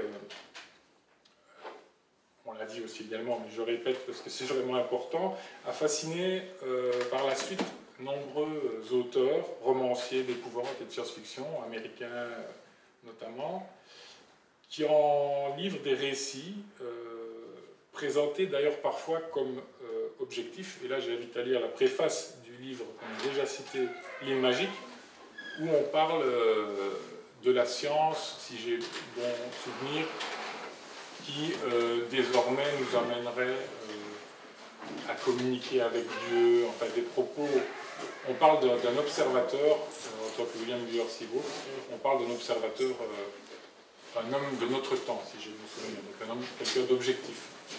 Donc un livre de science de, fiction qui est présenté comme un, livre objectif euh, tiré d'observation. Dans ce livre, on voit apparaître pour la première fois une autre figure ambiguement liée au vaudou, comme le souligne euh, également euh, l'ouvrage, euh, qui est celle du zombie. On l'a dit aussi, relayé plus tard sur les écrans par les studios d'Hollywood avec le film White Zombie de Victor Alprin, et un peu plus tard, en 1943, et là un véritable succès mondial, I Work with the Zombie de Jacques Tourneur, qui augmente nettement la portée de, cette figure du zombie. Et l'ouvrage souligne de façon intéressante que, le mot euh, zombie et le mot vaudou euh, ont été a priori associés euh, plus ou moins soit de manière contemporaine ou après ces, succès, ce qui laisse penser à un effet de ces représentations sur la société haïtienne elle-même. Tout en laissant aussi donc des traces au sein de la culture populaire occidentale, puisque le mythe du zombie peut encore en voir des traces aujourd'hui, plus spécifiquement liées au vaudou. Donc, euh, ce livre euh, dresse euh, un état des lieux, des représentations du vaudou jusqu'à la première moitié du XXe siècle, et montre que la nécessité de se référer aux œuvres plus anciennes pour définir un objet a charrié, dans le cas du vaudou un bon nombre de préjugés et de clichés euh, liées aux interprétations des premiers, premiers observateurs du culte. Et aussi euh, qu'il n'est pas facile de s'en départir au cours de l'histoire postérieure euh, de ces descriptions. Donc, l'auteur nous invite à approfondir, donc pour étudier la référence à cette matière est incontournable, bien qu'elle soit donc euh, quelque peu pipée par, le, par les, interprétations euh, non liées aux observations. Euh, le caractère caché et secret des cérémonies durant la période esclavagiste et le caractère spéculatif des écrits depuis l'indépendance de 1804 est un contexte propre à l'égaré chercheur, nous dit Lewis, qui ne pourra probablement jamais vraiment distinguer le réel de l'imaginaire concernant les cérémonies vaudou de, cette époque. Dans ce cadre, euh, l'ouvrage nous invite à approfondir l'étude historique des autres courants religieux, ça on, vient d'en parler, euh, présents durant la période esclavagiste, en vue d'étendre le champ d'interprétation possible de ce texte-là, euh, du 19e. et formuler ici l'hypothèse, mais ça c'est aussi euh, évoqué, que durant le 19e siècle, le vaudou est concurrencé par de nombreux euh, autres euh, courants religieux non chrétiens, qui sont très peu documentés donc. On parle de, musulmans d'Afrique, mais a priori il y aurait beaucoup d'autres possibilités. Et en définitive, ce qui a clôturé l'intervention précédente aussi, l'ouvrage invite le lecteur à une réflexion critique sur l'usage même du mot vaudou qui peut-être euh, n'a pas toujours servi à évoquer l'ensemble de croyances religieuses et de pratiques qui lui sont associées aujourd'hui. Lewis en a déjà touché un mot précédemment. Pour finir, ces écrits euh, du 19e, tout comme l'étude de l'évolution des représentations concernant le vaudou dans une perspective transnationale, permettrait de spéculer euh, sur l'évolution de certaines croyances religieuses, comme nous dit Lewis, tout autant que sur l'évolution des pratiques de la recherche scientifique à cette époque. Mais probablement également, dans une perspective plus vaste, de spéculer sur les effets des dynamiques représentationnelles et des échanges transnationaux dans le cadre du phénomène actuel euh, d'accélération et d'accroissement des échanges en termes de valeurs, de croyances et de représentation. Si on y ajoute notamment les représentations visuelles et euh, peut-être euh, en supplément des, textes. Euh, donc, euh, donc, on voit très bien avec cet ouvrage cette dynamique transnationale d'échange en termes de valeurs de croyance et de On voit très bien avec cet ouvrage, dont le vaudou haïtien est un moteur historique et un cas exemplaire. Voilà, donc une matière d'étude à poursuivre, en tout cas. Merci Federico. Alors, je dirais deux choses et pour, pour, deux choses qui ont été soulevées et, dans, le cadre des deux interventions et, euh, de Federico et de Cali.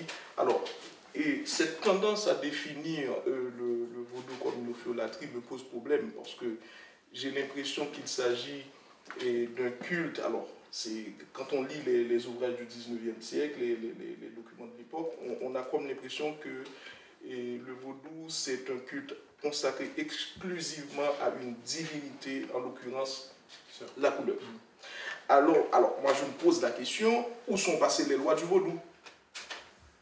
Parce que euh, le vaudou, il y a beaucoup, bon, certains parlent de divinité, d'autres parlent de force, etc. Mais de toute façon, on fait beaucoup référence à des forces, euh, à des divinités qu'on appelle des, des, lois dans le vaudou.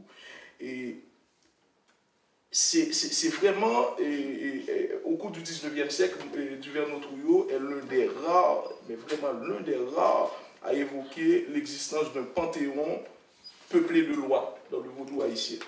Donc, et, et tout d'un coup, tout d'un coup, d'ailleurs, Jean-Pierre Mansoura a posé ce problème en 1928, tout d'un coup, on se demande où est passée la fameuse couleuvre. À partir du XXe siècle. Donc, euh, il y en a qui, qui, qui, sortent l'argument euh, évolutionniste qu'à un certain moment, on n'en a plus besoin, que le culte est, est, oui, que cela finalement est devenu un symbole. Euh, donc euh, voilà.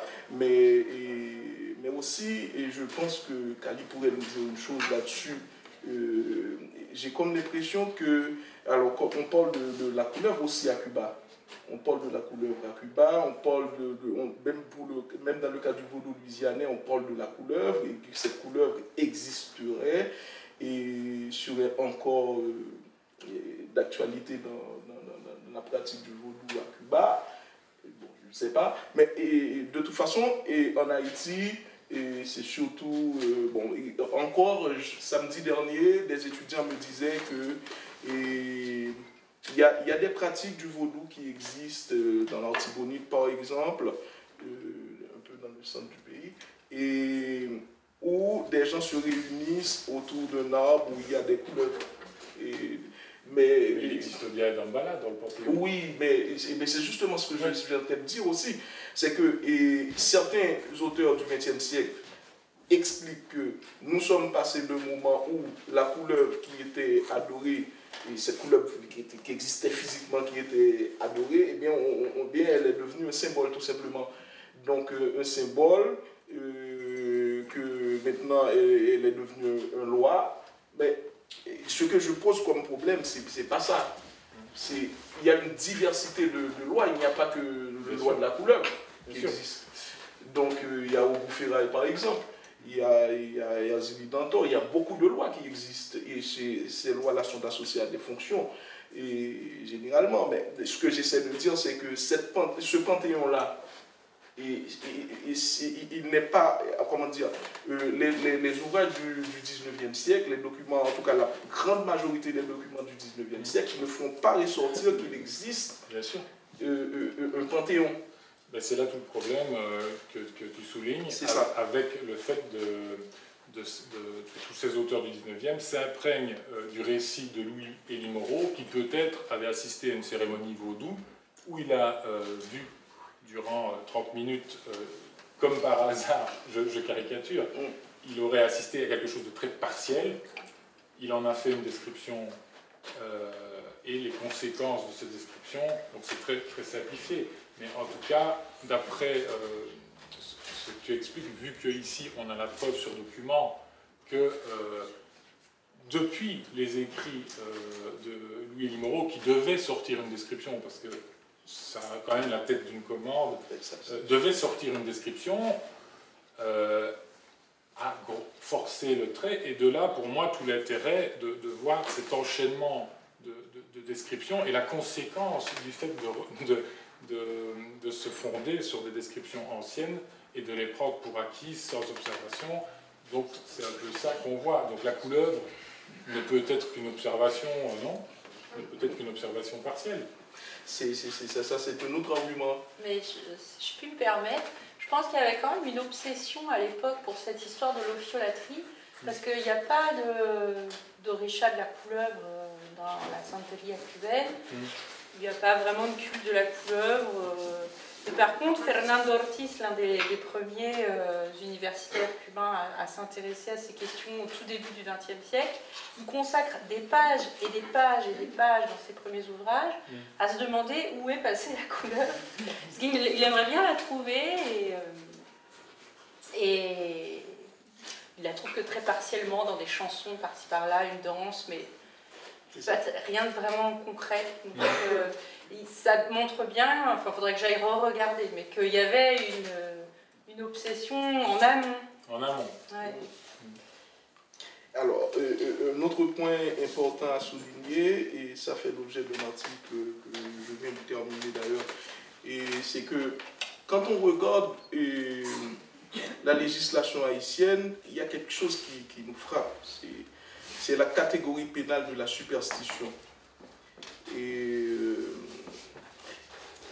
généralement, on dit que quand on parle de la superstition, on parle simplement du vaudou, alors que qu'à bien regarder les, les, documents, en tout cas les, les, lois, les circulaires de l'époque, ça pose problème. Par exemple, en juillet 1844, le secrétaire d'État de l'Intérieur de l'Agriculture fait injonction à la police locale, je cite, de surveiller la conduite des cabaleurs, des 10 heures de bonne aventure, Wangater, Caprilata. Alors voilà, et c'est ce qui est, mis dans le paquet de la, superstition. Alors que la loi du 27 octobre 1804, 1864 euh, portant modification du code pénal punit, je cite, tout faiseur de Wanga, Caprilata, Vaudou, Dompel, Macandal et autres sortilèges. Alors ça veut dire quoi? Ça veut dire que et le vaudou serait partie ou encore serait élément d'un ensemble et beaucoup plus vaste que serait la superstition. Alors, comment finalement aujourd'hui on est passé, euh, en tout cas, euh, quand on parle de, Wanga aujourd'hui, on, voit, on, évoque que ça, ça, suggère le vaudou aujourd'hui. Quand on, parle de, de, Quand on parle par exemple de Macandal, de la table. Aujourd'hui, ce sont des, termes associés au, au. On ne sait pas comment, on ne sait pas comment on est passé de ce stade-là pour euh, euh, arriver à ça. Et je prends, je prends un, autre, un autre exemple. Le vice-consul de France au Cap Haïtien, Antoine Desarmoniens, dans ses notes rédigées vers 1830, voilà ce qu'il écrit. Il écrit si les, si les hommes riches surtout dans la ville, se montrent indifférents en matière de religion.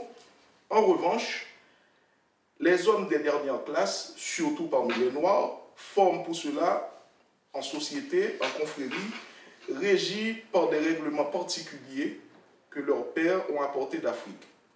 Il dit, d'abord, ce sont les Vaudous, les Wangas, les Kafragas, les Machuala et ensuite les Domesques qui excluent les, qui excluent les gens à gage. C'est pour vous dire que quand on parle du vaudou au 19e siècle, on ne sait pas trop à quoi cela renvoie. Alors on va, peut-être euh, continuer notre débat avec une intervention donc, de Maud sur le deuxième et tout dernier euh, ouvrage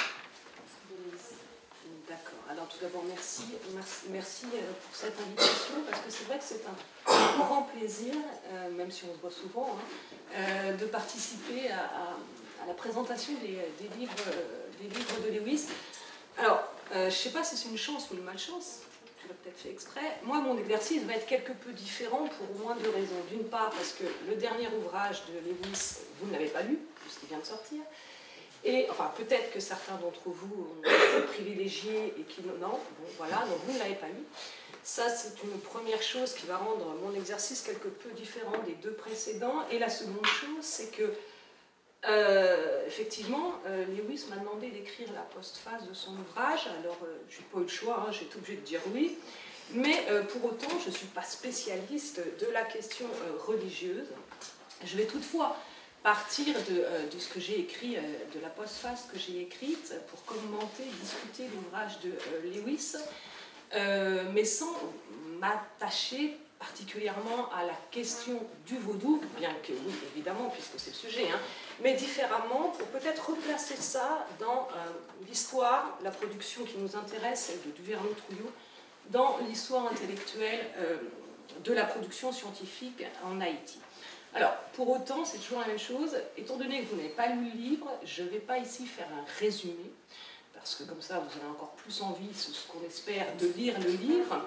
Je vais le présenter, mais pas un résumé au sens euh, attendu euh, du terme. Euh, je vais m'attacher plus exactement à repérer quelques-unes, hein, quelques-unes seulement, des directions auxquelles nous invite sa lecture et qui, j'espère, montrent combien cette nouvelle livraison de Lewis marque une étape importante. Dans cet ouvrage, donc c'est une présentation assez sommaire, Lewis euh, a pensé euh, important de euh, pénétrer la production scientifique du 19e siècle haïtien donc par la voix singulière d'un auteur, Duverneau-Trouillot, et de son travail qui s'intitule, alors l'ouvrage s'intitule Duverneau-Trouillot et le vaudou, réflexion d'un intellectuel haïtien du 19e siècle, et euh, donc, il nous présente le travail de Trouillot qui, euh, lui, s'intitule Esquisse ethnographique, le Vaudoun, V-A-U-D-O-U-N, deux points, aperçu historique et évolution, évolution au pluriel, publié en 1885. Alors, je ne pense pas que ce soit un début de réponse, mais quand même, voilà, on est en 1885 et Duverneau-Trouillot nous parle du vaudou en le mettant singulier, bien qu'il appréhende ses évolutions au pluriel. Donc ça rebondit un peu sur ce que tu viens de dire, euh, Lewis. Donc en cette fin du 19e siècle, on parle déjà du vaudou, comme un ensemble regroupant euh, différentes pratiques. Alors, le choix de ton choix, Lewis, le choix de Lewis, je parlais de toi, la troisième personne, c'est bien, c'est bien, ça. A donc été euh, de s'attacher à, situer le, travail de Trouillot dans son contexte d'émergence, la production intellectuelle de la fin du 19e, plus particulièrement euh, les années 1880, euh, qui, dans le contexte haïtien, contribuent largement au développement et au renouvellement d'une réflexion dans ses liens avec le politique, je vais y venir.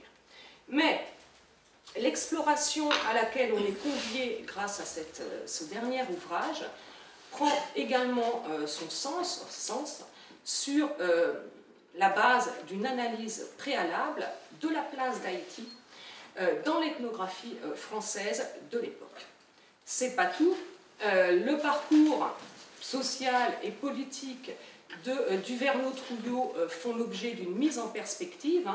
alors, euh, où les résultats produits par une, une, fréquentation, la fréquentation d'une importante quantité d'ouvrages, hein, qui sont d'ailleurs recensés, ouvrages produits à la fin du XIXe siècle en Haïti, sur Haïti, qui sont quasiment, enfin qui sont recensés de manière quasiment exhaustive dans l'ouvrage de Lewis, donc c'est aussi un ouvrage très important pour, ça, pour toute la bibliographie qu'il qui nous donne là. Hein. Donc, euh, amène, donc cette, mise en perspective, amène à réfléchir sur l'évolution de cet objet, objet ethnographique s'il en est, que constitue euh, le vaudou. Autre point remarquable, et là j'insiste, euh, que cette livraison nous, nous, donne, nous offre, hein, la reproduction euh, de euh, l'opuscule de Duverneau-Trouillot, donc esquisse ethnographique. C'est un bien précieux et on va voir pourquoi c'est un bien euh, précieux. Or, j'ai envie de dire que Lewis, là, tu nous proposes moins de découvrir Duverneau-Trouillot et son travail que de l'éclairer. Alors, pourquoi je dis qu'il s'agit moins de découvrir le travail de Duverneau-Trouillot Parce que le travail de Trouillot est connu. Il est même présenté par certains auteurs comme l'un des premiers, si ce n'est le premier, euh, travail ethnographique sur les euh, pratiques vaudou. Ça veut dire quoi? Ça veut dire que qui, pour qui s'intéresse à Haïti, ce travail est très souvent euh, cité, référé, indiqué. Or, nous dit Lewis dans ce travail, Duverneau-Trouillot est un auteur pourtant singulier. Et alors, vous comprendrez mieux quand vous aurez lu le livre, évidemment. Pour ceux qui l'ont lu, ils comprennent déjà. Un auteur d'autant plus singulier qu'il est très difficile à situer, malgré la faible distance historique, encore une fois, on est en 1885, hein, et en plus de ça, son opuscule, qui est encore une fois réédité là-dedans, difficile à trouver. Donc, et à cet égard, euh, on, comprend pourquoi, euh, combien est précieuse cette réédition. Alors j'ajoute réédition accompagnée d'un glossaire, hein, que tu as, euh, que tu as fait, euh, un glossaire que tu as rédigé, et qui permet de mieux comprendre, de mieux saisir la manière dont Trouillot appréhende cet ensemble vaudou, on y viendra, qu'il nous décrit là. Et notamment son utilisation des termes qui sont aujourd'hui toujours en vigueur et pour d'autres absolument plus, et c'est ça qu'il est intéressant. Donc, on pourra aussi penser que grâce à ce dernier ouvrage de Lewis, le travail de Trouillot, même réduit à un renvoi situé en note de bas de page, comme on voit très souvent, s'entendra euh, différemment. Il ne s'agit pas là pour autant du mieux, j'ai envie de dire, puisque le mieux va être contenu, sera contenu dans la lecture d'un auteur qui, pour le coup, ne sera plus soustrait à son historicité. Et ça, je crois, c'est un gros mot, historicité, mais là, ça a un sens de l'employer. Ça, je crois que c'est euh, très important et c'est tout l'intérêt de ton ouvrage que de la mettre à jour, que de mettre à jour cette euh, historicité. Alors, je ne vais pas parler à ta place, Louise, parce que euh, tu le feras bien mieux que moi, mais je voudrais quand même dire un mot sur, comme je l'ai dit, la place euh, que Trouillot occupe dans l'histoire intellectuelle d'Haïti, et peut-être, on peut l'espérer, au-delà d'Haïti dans peu de temps, et notamment grâce à, cette, à ta publication. Bon, je me souviens qu'on avait une discussion sur le terme que j'avais employé. Euh, j'ai envie de dire que cette place, elle est euh, inaugurale. Quand j'ai eu, eu, à écrire initiatique, tu m'avais dit, mais Maud, qu'est-ce que tu veux dire par initiatique? On parle du vaudou. Bon, je maintiens inaugural, cela étant. Alors, Trouillot euh, nous livre effectivement euh, là-dedans, vous le verrez, vous le découvrirez, une euh, parole qui se fait fondatrice. Alors, fondatrice d'abord parce que c'est un signe, j'ai envie de dire, parmi les, les, les signaux qu'on a à ce moment-là sur Haïti, sur ce qui est produit à partir d'Haïti, mais surtout de l'extérieur, qui apparaît comme une chambre d'écho dans euh, ce qu'on a, enfin, on pourra en discuter, Lewis, c'est peut-être une question déjà, ce qu'on pourrait appeler un, faux silence ethnographique sur Haïti. Parce que tu nous dis là qu'il y a un relatif silence ethnographique sur Haïti. Moi, j'ai envie de dire oui et non, ou alors un faux silence. Je ne sais pas quelle pertinence ça a, mais on pourra en discuter. Alors, sur Haïti, mais aussi sur le vaudou, évidemment, qui apparaît euh, comme, comme l'emblème, pour le meilleur et pour le pire, euh, euh, qu'on associe à Haïti. donc, ce faux silence ethnographique véhiculé par l'extérieur, donc notamment la communauté internationale, scientifique étrangère. C'est un premier point. et donc, l'intérêt du, du, bouquin de Lewis, le dernier, euh, c'est justement de situer euh, ce travail, cette parole de Trouillot, dans son contexte d'émergence, hein, mais euh, dans son contexte d'émergence, dans la production qui est donnée sur Haïti, mais j'ai envie de dire, et j'y reviendrai, aussi dans son contexte d'émergence à l'intérieur d'Haïti, sa place dans la production scientifique sur le pays, même si je pense qu'il conviendrait de davantage insister sur ce point. On l'a abordé, vous l'avez abordé, parole fondatrice de euh, Duverneau-Trouillot aussi, en ce que euh, Trouillot pose la nature, entre guillemets, syncrétique euh, du, du, vaudou. Alors peut-être que ça...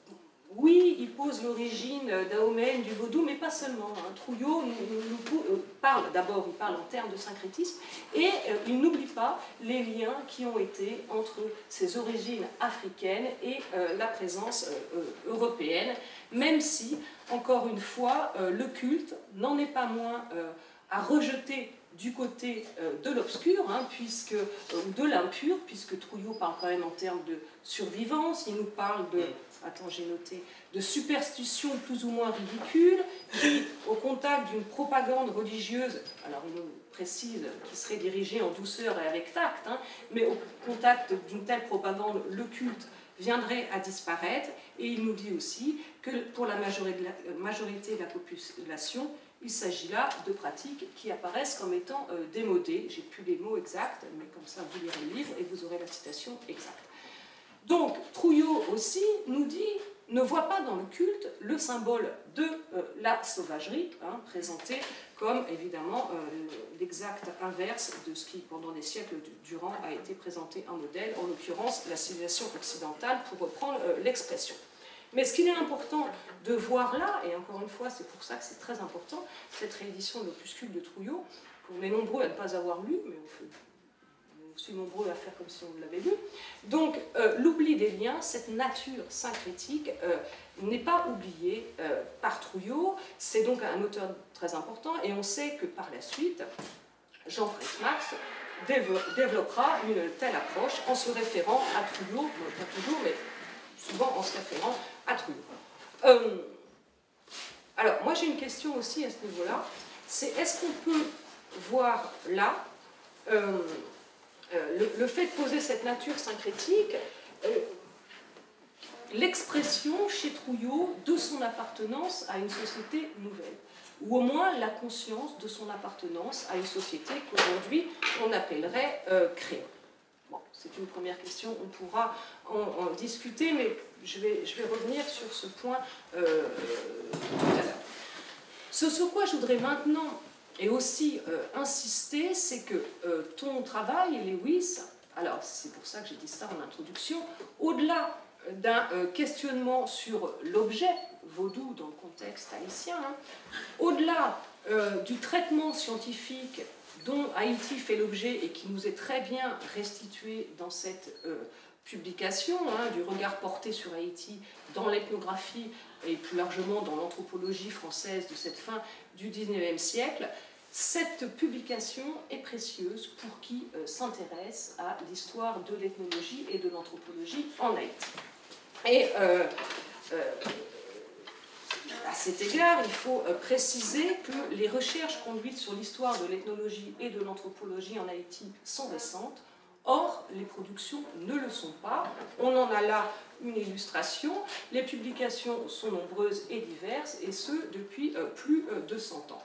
Alors cette remarque me permet euh, de faire une petite parenthèse, mais elle n'est pas si petite que ça, euh, sur l'existence d'une équipe de recherche au sein euh, du laboratoire qui s'appelle la DIREP à Port-au-Prince, au sein de la faculté d'ethnologie de l'Université d'État d'Haïti à Port-au-Prince.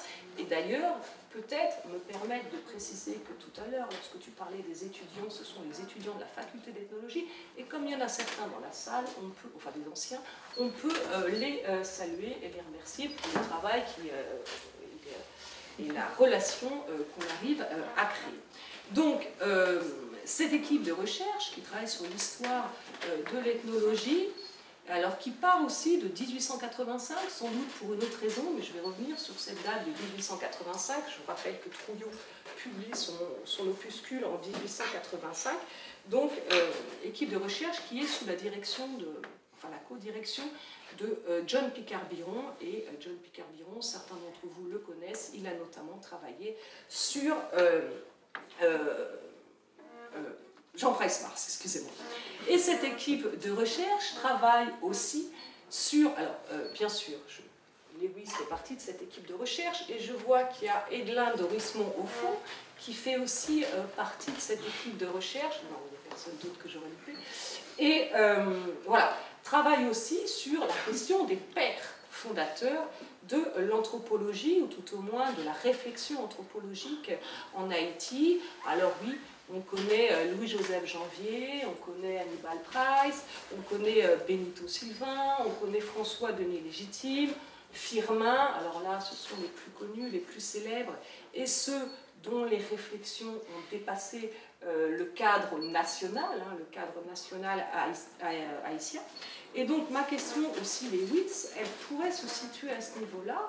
Est-ce que tu fais entrer du verre, il y a plein de questions aussi Est-ce que tu fais entrer euh, du Verno Trouillot dans ce panthéon? Parce qu'on peut parler de panthéon, ces grands hommes. Hein, et j'ai envie de reprendre l'expression, on en parlait tout à l'heure avec Kali, c'est héros épistémique, l'expression n'est pas de moi, c'est de, Jean Jamin, hein, la suite de Bourdieu, mais de Jean Jamin. Et d'ailleurs, il y a un article assez fameux sur l'histoire de l'anthropologie, est-elle une histoire comme les autres? Donc, fais-tu entrer euh, du Vernon Trouillot dans ce panthéon, c'est héros épistémique, qui, il faut le euh, rappeler, hein, euh, leur réflexion de cette fin du 19e siècle vise surtout, d'abord, à prouver l'existence d'une commune humanité hein, des Haïtiens avec le reste, euh, de, euh, avec le reste, cette commune humanité que partagent les Haïtiens et qui s'inscrit dans le cadre de réponses entre euh, scientifiques, pas comme on les entend aujourd'hui, mais disons anthropologues, notamment français, et haïtiens. Donc, cette communauté qui reste à prouver en cette fin du 19e siècle en Haïti destiné pour l'extérieur, effectivement, du pays, mais j'ai envie de dire aussi pour l'intérieur. Et je pense que là, il conviendrait peut-être d'insister davantage sur cette, cette réception de leur discours. Il faut travailler là-dessus, évidemment, à l'intérieur euh, des frontières euh, nationales. Alors, peut-être dire que euh, dans le cas haïtien, il y a effectivement, enfin c'est une donnée historique, le fait que cette, comment dirais-je, cette cette pensée anthropologique traverse le 19e siècle euh, en Haïti, les réflexions euh, des, euh, des, penseurs, et c'est d'autant plus important que, en cette fin du 19e siècle particulièrement, mais pas seulement, ce discours anthropologique qui s'instaure va laisser la place, très peu de temps après finalement, à un autre type de discours et un vrai véritable glissement va s'opérer avec ce que Carlos Elius a appelé le tournant ethnologique au début du XXe siècle, enfin dans les années 30-40, et un véritable changement va euh, s'opérer, mais je vais y revenir parce que j'ai une question à te poser à ce sujet-là. Donc, pensée anthropologique présente en Haïti, qui, euh, qui traverse tout le XIXe siècle et pas seulement la fin du XIXe euh, siècle, qui se traduit par la formulation d'un discours anthropologique et d'un projet anthropologique qui vise, on le sait, à dénaturaliser euh, l'esclavage et pour participer à cette humanisation, cette humaine condition, encore une fois, de tous les hommes. Et alors, j'ai une question à ce niveau-là. Alors, Célus, pour, euh, pour rester avec lui, parce que je pense qu'il a, bien avant nous, mis en avant euh, des, des, moments importants dans cette histoire de, des, de, des, idées et des méthodes dans le contexte haïtien. Euh, Carlo Celius, je vous renvoie au numéro de Gradiva que nombre d'entre vous doit connaître sur Haïti et l'anthropologie, qui a été publié en 2005. Hein. Carlo nous parle des moments de, cristallisation hein, en cette fin de 20e siècle, 19e siècle haïtien, alors, pas tant avec du Trouillot, mais surtout avec Firmin et sa publication qui date également de 1885 de l'égalité euh, des races. Hein.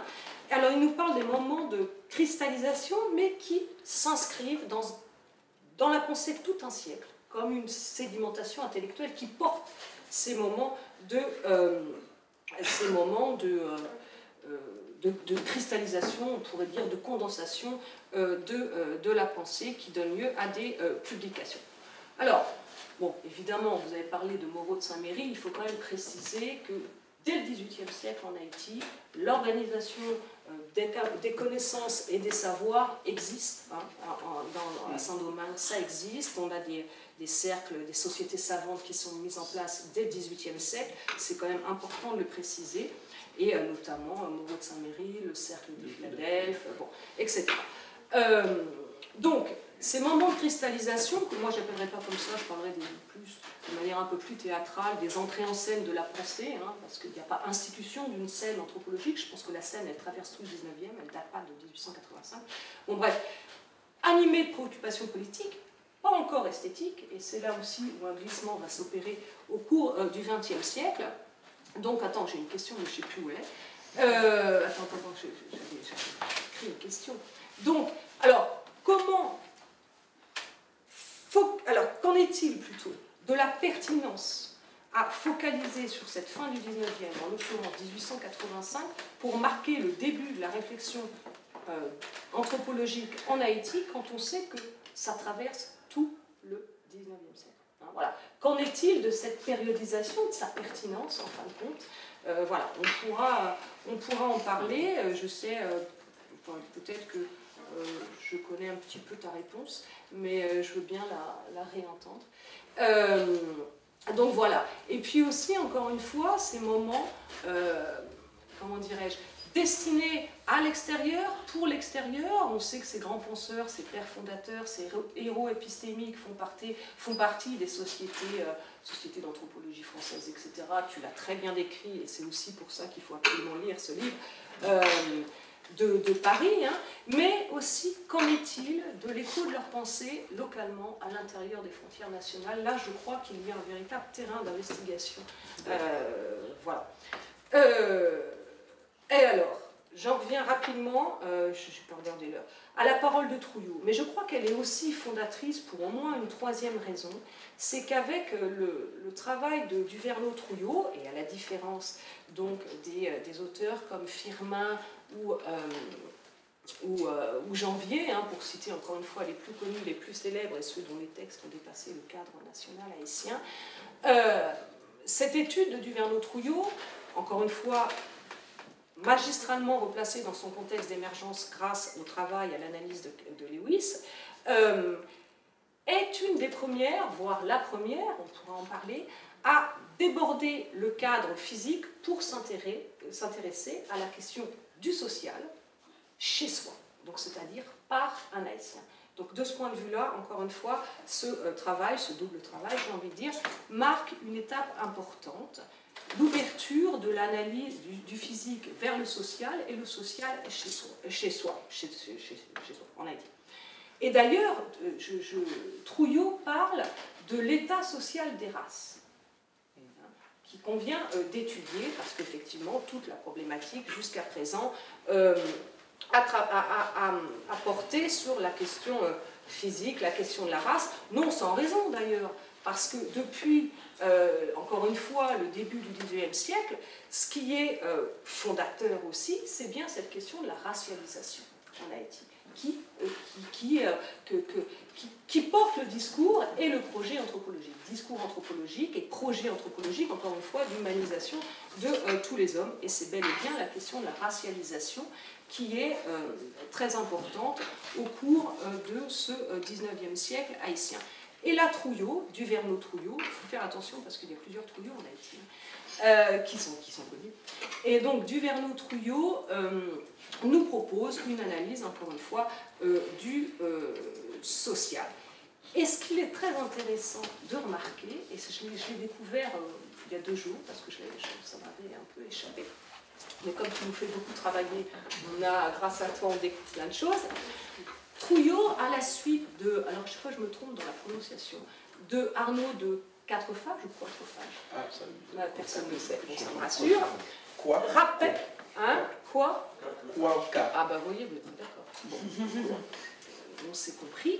Rappel de causes hein, sur euh, qui, alors là je le cite pour éviter de me tromper, qui tendent à égarer notre jugement quand il s'agit d'apprécier l'état social des races nous dit-il. La première cause tient à la manière dont nous jugeons l'ensemble de la population à laquelle on appartient. En gros, il nous dit l'ensemble de la population, en oubliant les distinctions à établir à l'intérieur d'un même groupe, d'une même population. Je ne sais pas si je suis très claire dans ce que je raconte. Donc, il nous dit, en fait, il pose là cette question du grand partage qui va occuper grandement les analyses euh, après, qui, viendront notamment au XXe siècle, le grand partage entre élite et masse. Mm. Et il nous dit, quand on se préoccupe de l'état social des races, on oublie cette distinction. Et il nous dit, le vaudou, le vaudou, en mettant au singulier et en parlant de vaudou, ne concerne pas l'ensemble de la population haïtienne. Bon, là, je crois que c'est aussi quelque chose sur lequel on euh, n'est pas l'affaire de euh, la société haïtienne amenée à réfléchir. Et la seconde cause qu'il attribue à, notre, à, l'égarement qui serait euh, celui des, analystes hein, pour apprécier l'état social des races, la seconde cause, il parle de orgueil de race, de préjugés de notre éducation, qui nous empêche de, euh, encore une fois, saisir des ressemblances extrêmes, presque des identités. En fait, entre des populations a priori différentes. Il nous rappelle l'unité du genre humain. Mais cette unité du genre humain, lui, va la chercher dans le social, et je crois que là, c'est un moment euh, important. Je vais bientôt m'arrêter, mais il faut quand même préciser, parce que là aussi c'est important, et ça va peut-être rebondir sur ce que vous disiez euh, tout à l'heure, que dans le cas du travail de Trouillot, encore une fois, c'est une trentaine de pages. Hein. Mais comme tu l'as très bien dit, Lewis, on bute sur les traces de ses conditions d'observation, de son recueil des données. Hein. On ne sait pas où il a travaillé, comment il a travaillé. On ne sait pas davantage les raisons qui l'ont poussé à étudier le vaudou, en fin de compte. Hein. Donc, ça échappe. Alors, de fait, on perçoit les limites de euh, l'analyse. Alors, évidemment, limites de l'analyse qui sont déjà euh, facilement repérable dans un objet euh, grévé d'une conception positiviste comme la communauté étrangère euh, pouvait la, véhiculer. Hein. Il s'est inscrit dans un, évolutionnisme qui peut-être pourrait nous faire rire aujourd'hui, enfin sourire à défaut de rire. Et euh, voilà. Et de certains stéréotypes, hein. d'ailleurs, Emmanuel Sépol, en 52, tu me corriges, je ne sais pas, dira que l'ouvrage de Trouillot est très intéressant, malgré les préjugés qui sont les siens. Peut-on appeler ça euh, des préjugés? Je ne sais pas, on appartient tous à notre temps. Sauf d'autant plus que le mot préjugé, tu le réutilises aussi dans la conclusion. On parlait de l'œuvre de Trujillo. Bon, alors après, il est aussi difficile, et là ça rebondit peut-être davantage sur ce que vous disiez, peut-on considérer le travail de Trouillot comme une réponse à la publication de Spencer St. John qui euh, n'est pas de 86, 1886, mais de 1884, 86 étant la traduction euh, française. Donc ça veut dire que quand Trouillot écrit son opuscule, il a connaissance de la publication, comment peut-on l'imaginer, de, euh, de Spencer St. John, et il ne la cite pas, il est vrai, mais il parle à un moment, alors tu me corriges Lewis, pour faire taire, alors ce sont pas ces termes, j'aurais dû les noter, je m'en veux, j'ai honte, pour faire taire ces observateurs amateurs, ou bien, je retrouverai ça tout à l'heure. Donc, difficile pour autant de dire qu'il s'agit là d'une réponse. Hein. Mm. Une réponse à quoi Au rejet euh, des cultes vaudous dans une euh, condition euh, barbare. Je termine peut-être en disant Ouais, je peux terminer, hein, mais je vais, quand même, il y a une question qui se pose. Euh, est-ce que, pour revenir sur cette pensée euh, du 19e siècle dans, euh, dans les contrastes qu'elle nous montre avec ce qui se produit au 20e siècle, est-ce que Duverneau-Trouillot eût été étonné de la destinée culturelle de l'objet vaudou Pourquoi je dis ça? C'est fort possible, parce que même si, alors on sait, Price Marx, euh, et tu le rappelles, caractérisera en 28, euh, dans, ainsi par la longue, le, vaudou en tant que euh, religion. Mais les lectures, progressivement, et encore ça dépend, vont mettre de côté, de façon a priori, j'insiste sur a priori contradictoire, la dynamique de création des cultes. Hein. Et il est certain que si la, discipline ethnologique qui va s'institutionnaliser dans les années 30, 40, va dans une tentative de sauvegarde des cultes en lien avec les campagnes anti-superstitieuses, va pénétrer euh, les cultes comme, euh, qui sont vus alors comme la voix singulière des modes de pensée euh, des gens, va vouloir les étudier, hein, mais en même temps, c'est pas sans lien avec une préoccupation politique va mettre de côté cette dimension, cette dynamique de création et va, en fin de compte, les enfermer dans un espèce de musée national avec une valeur emblématique, identitaire, patrimoniale, et retomber en quelque sorte, pour certaines analyses, dans une sorte d'essentialisme, un nouvel essentialisme. Et on peut se demander comment lire cet ouvrage de Trouillot euh, là-dedans. Hein. Et euh, voilà, on va inscrire les cultes dans un espèce de musée euh, national, encore une fois, en mettant de côté cette inscription dans une démarche universaliste. Hein. et du stigmate, en fin de compte, entraînant le rejet et la condamnation, on va passer à un emblème doté d'un certain charme qui autorise la contemplation, et euh, un glissement réel s'opère, et ça pose encore une fois la question que vous souleviez tout à l'heure, me semble-t-il, et tu y invites également euh, à la fin, euh, dans la conclusion que tu nous présentes, à partir de ton analyse du travail de Trouillot, qu'en est-il aujourd'hui du renouvellement des enquêtes ethnographiques sur cet objet mais pas seulement, plus largement sur la question du religieux, et comme le précisait Nathalie euh, tout à l'heure, eh bien, ton travail, toi, Lewis, porte aussi sur cette question du religieux, que tu saisis dans toutes ces, ambivalences, hein, sa complexité, mais aussi toutes ces euh, ambivalences. Qu'en est-il du renouvellement des enquêtes ethnographiques aujourd'hui euh, en Haïti hein, sur la question vaudou? Ça, je pense que c'est une véritable véritable question. Hein.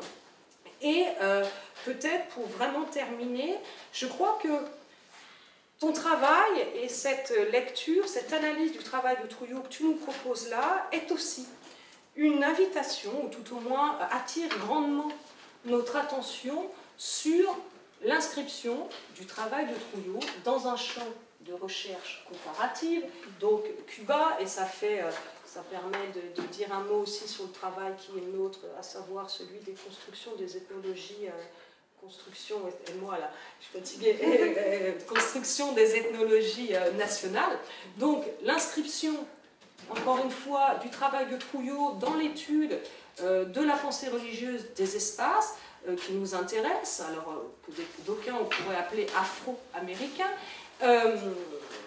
et l'analyse aussi de la place du religieux dans ces espaces, tels que la discipline ethnologique les a, euh, déployé cette place, a donné à la place euh, du religieux, parce qu'encore une fois, on est en 1885, on est en Haïti, on est en 1885, et ça part pas de 1900, ça part de 1885, cette question de, des enquêtes ethnographiques sur, euh, sur tout ça. Alors, la construction des écoles nationales, effectivement, euh, d'ethnologie, et encore une fois, peut-être terminer pour dire que euh,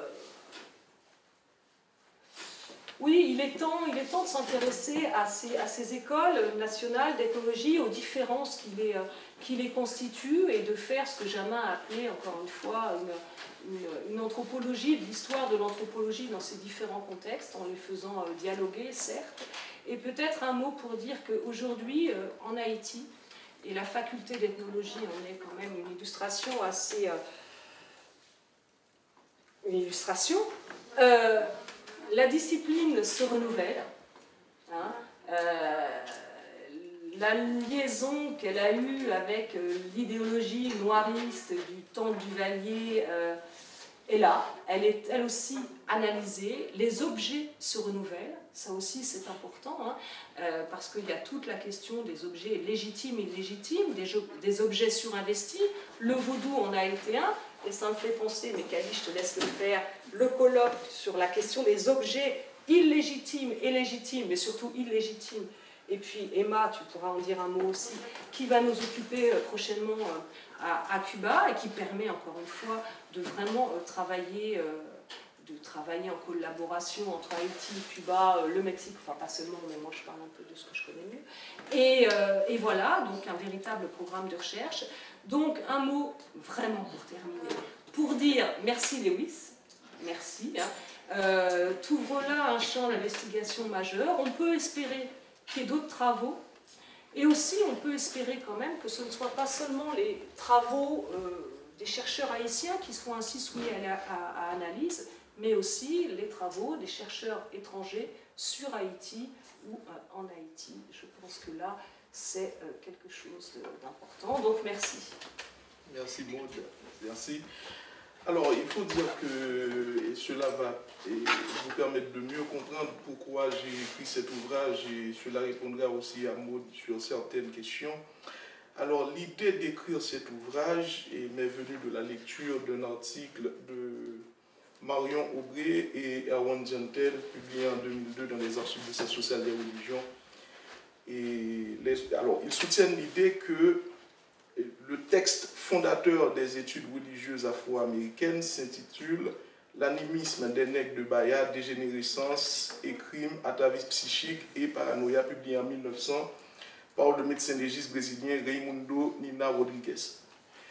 Alors, si cet article accorde une place aux œuvres produites sur le vaudou haïtien, d'ailleurs on parle beaucoup de Price Mars, il y a un silence étrange sur celle de Trouillot et pourtant, et Trouillot a publié son opuscule en 1885. ça, on comprend parce que il est difficile de trouver euh, cette publication de, Trouillot. Et, mais mon problème, c'est que généralement, on a cette tendance à faire commencer. On a, on, a, on a cette tendance à faire tout graviter autour de Price et de Firmo. Et quand tu parles de, de père fondateur, et on pense généralement à Price Mars, à Firmin, à Janvier comme étant les pères fondateurs. Et je pense que effectivement, les gens se sont appropriés ces auteurs assez vite et parce que je vais expliquer tout à l'heure pourquoi. Mais il y a aussi une autre chose, c'est qu'il y a des auteurs et qui ont discuté avec eux qui ont relativisé certaines thèses que ces auteurs ont développées, mais qui ne sont pas connus. Parce que et eux, ils publient soit dans les journaux, et c'est des articles de journaux, tout simplement, rien que ça, ou du moins, ils publient euh, un ouvrage tiré à 10, 20, 30 exemplaires. Donc ça, c'est un premier problème. Alors, et je commencerai par répondre à la question qu'est-ce que je pense de, de, cette idée de 1885 comme étant un mouvement fondateur dans l'histoire de, l'ethnologie haïtienne. Alors, moi, je, je, dirais que les années 1880 sont extrêmement importantes pour comprendre ce qui se passe parce que il y a, à partir des années 1880, des, des, des, des, intellectuels haïtiens qui s'inscrivent dans des cercles et, ou encore des sociétés savantes à Paris. Et cela leur donne l'occasion de mieux polémiquer, de mieux discuter avec euh, d'autres intellectuels.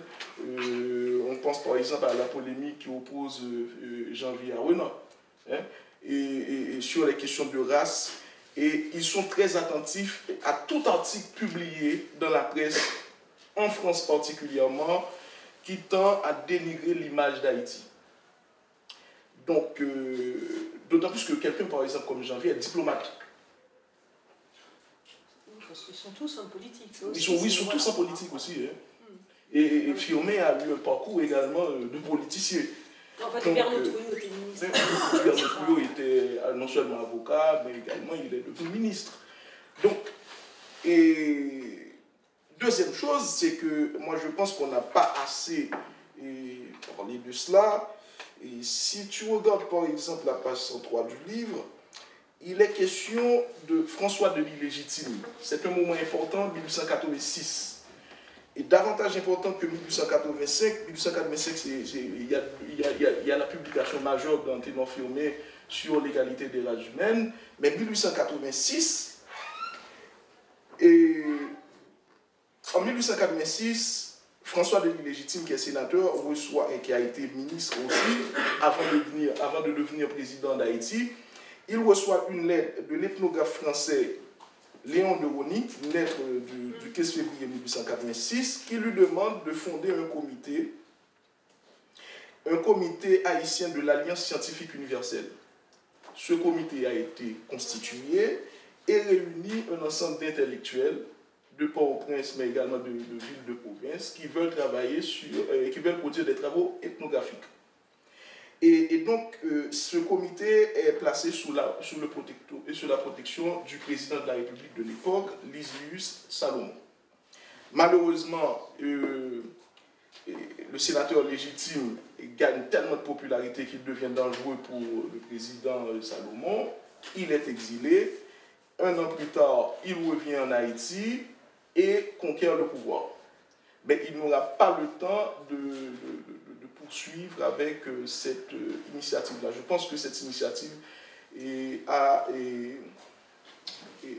bon, cette initiative s'est arrêtée là. Mais par contre, il y a des gens que nous retrouvons dans cette... alors qui, ont signé, qui ont été présents euh, aux réunions fondatrices de, de, cette, de cette structure, de cette entité-là, de cette association, et qui euh, ont publié des travaux par la suite. C'est pour cela que je parle euh, d'une première vague d'ethnographes haïtiens avant Price Mars.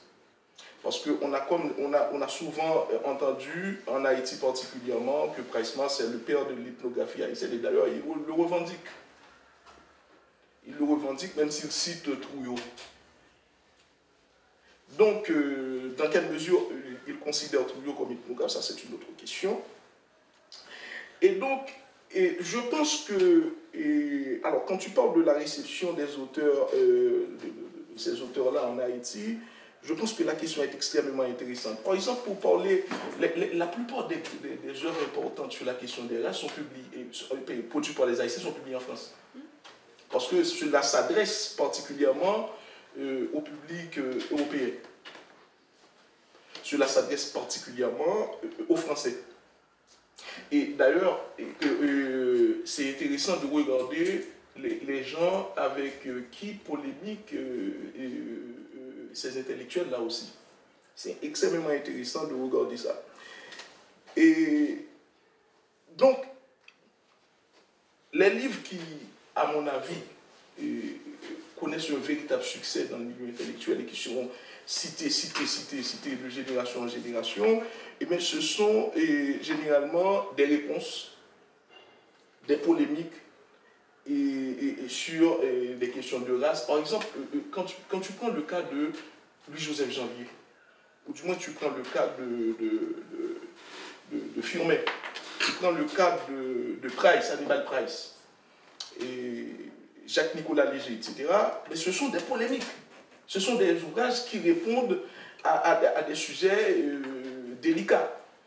Quand par exemple, euh, Janvier, par exemple, aborde la question du cannibalisme dans le vaudou, mais il dit que oui, vous, vous prenez les faits divers en Haïti, vous faites comme si c'est toute la population haïtienne, encore tous les gens qui pratiquent le vaudou, qui sont euh, des cannibales.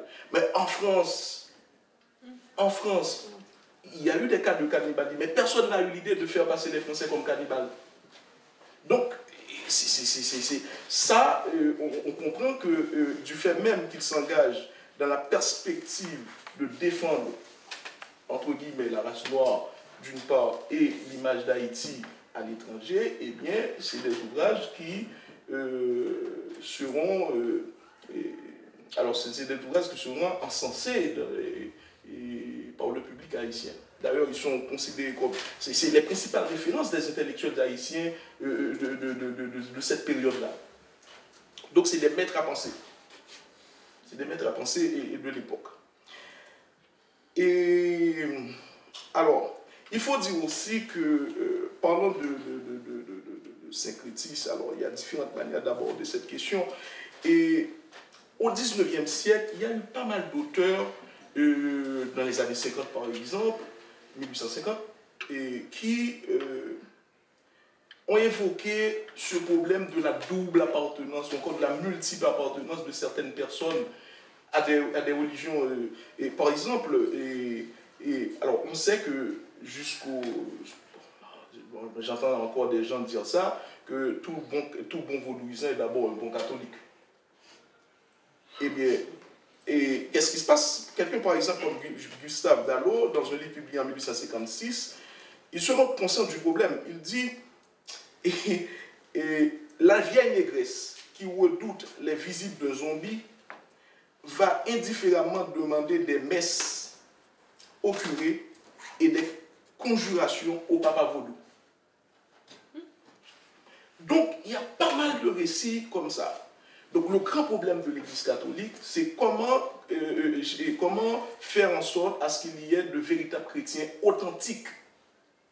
Le problème de l'authenticité, ça pose. Alors, le, des chrétiens authentiques en Haïti, ça c'est un problème. Donc, en d'autres termes, le problème de la conversion religieuse. et dans quelle mesure, les prêtres se demandent dans quelle mesure véritablement les gens comprennent ce qu'on leur dit à l'Église. Dans quelle mesure euh, cette expérience religieuse des gens, eh bien, et, en tout cas l'expérience qu'on les invite à faire, eh bien, dans quelle mesure ils en tiennent compte. Ils n'ont pas de problème, d'ailleurs, en parlant du sécrétisme encore, euh, ils, associent des lois des saints. Les prêtres sont conscients de cela.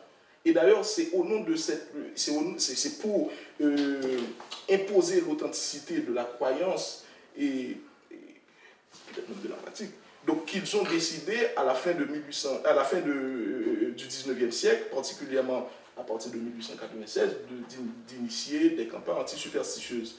Parce que si vous regardez par exemple les, les, les, les différents échanges épistolaires qu'ils ont eus, et les échanges entre les, prêtres et leur congrégation, vous allez remarquer que et, leur inquiétude du fait que et, la, personne, la, personne ne se sent même pas coupable. Le, fidèle qui pratique le vaudou, il est, il, est très régulier à l'église, il, participe à toutes les activités de l'église et il ne se sent pas coupable. Il ne se sent pas coupable d'être à la fois catholique et vaudouisant. Bon, encore là, j'emploie le terme vaudouisant qui est, qui est récent aussi. Alors, est-ce que. alors, la question de la destinée culturelle de l'objet vaudou, cela étonnerait. Est-ce que cela étonnerait Otouyo Moi, je pense que nous sommes dans un autre contexte. Nous sommes vraiment dans un autre contexte à partir des années 20. À partir des années 20. Je pense, vraiment, je pense que nous sommes dans un autre contexte sommes dans un contexte, et, ceci, ce n'est pas seulement en Haïti. Et à, à Renaissance, par exemple, ça dit beaucoup de choses.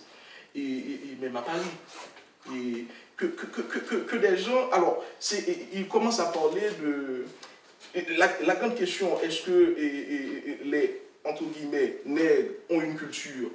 Est-ce qu'on peut élever au rang de religion les pratiques de de, super, alors des pratiques qui sont considérées jusqu'alors comme superstition. Je pense aussi que euh, qu'un grand effort a été réalisé avec Price aussi. Je ne peux pas dire le contraire. Price ça fait quelque chose d'important. Même si je, je, me peine à, le dire 100 euh, fois, qu'il faut, euh, il faut aller bien avant Price aussi pour voir que d'autres auteurs, que d'autres auteurs ont essayé de lever le voile, hein, sur, de, démystifier la question du vaudou. Et quand je parle de préjugés, par exemple, Duverno lui, il parle de culte bizarre. Hein. Oui, non, moi je m'arrêtais sur le mot démystifier. Euh, je ne suis pas sûre que Price Mars ait démystifié. Alors là, euh, a peut-être remythifié. Bon, là, là, oui, oui, oui. Bah, là, là, je suis d'accord. Là, je suis d'accord. Non, mais il n'y a pas été. là, là, là, oui, je, pense que là. Posons-nous la question. Oui, là, je pense que oui. Oui, oui, d'ailleurs. Et, et, il faut dire aussi que malheureusement, le pressement, ce qui est le plus connu, c'est le pressement d'Ainsi par l'oncle. Alors que Pressement est revenu sur ses, réflexions sur le vaudou dans d'autres textes et, on n'en tient pas compte, malheureusement. Donc il relativise des choses. Par exemple, Price dit très clairement que ce n'est pas le vaudou qu'il aime, mais plutôt la science qui s'en occupe, en l'occurrence l'ethnologie. Donc euh, faire de... Et il dit très clairement qu'il ne comprend pas des gens qui le, qui le font passer comme étant un défenseur du vaudou. Ça, c'est intéressant aussi et à tenir compte. Et un autre élément... Alors, sur la question des, recherches sur le religion en Haïti, moi je pense qu'on est en train de, de faire quelque chose d'intéressant en mode. Je m'explique. Euh, l'un des grands problèmes de, des recherches sur le religion en Haïti, c'est que les chercheurs n'ont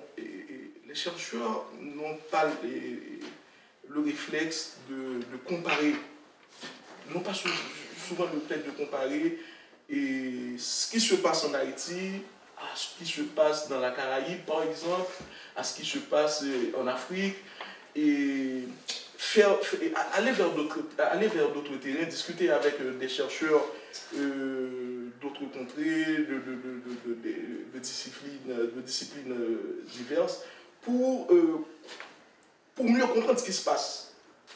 Pour mieux comprendre ce qui se passe. Et je pense que en constituant des équipes de recherche, par exemple, l'idée même de constituer des équipes de recherche où on peut discuter avec des chercheurs étrangers, parce que moi j'ai été très, très, très content, par exemple, de faire la connaissance de Kali qui travaille sur, sur, les mêmes questions que moi, et, et, de voir comment, à partir de Cuba, je peux, je peux mieux comprendre ce qui, ce qui se passait en Haïti. Il y a beaucoup de choses qui se sont passées en Haïti, et bien en fait, ça, se passait également à Cuba, et presque en même temps. Moi, je pense que ça, ça c'est vraiment important à faire et développer, développer des, des, équipes multidisciplinaires, mais avec des gens de, des chercheurs de, différentes universités étrangères, et pour, pour, pour, pour, dynamiser la, recherche scientifique en Haïti et particulièrement sur euh, la question euh, des religions.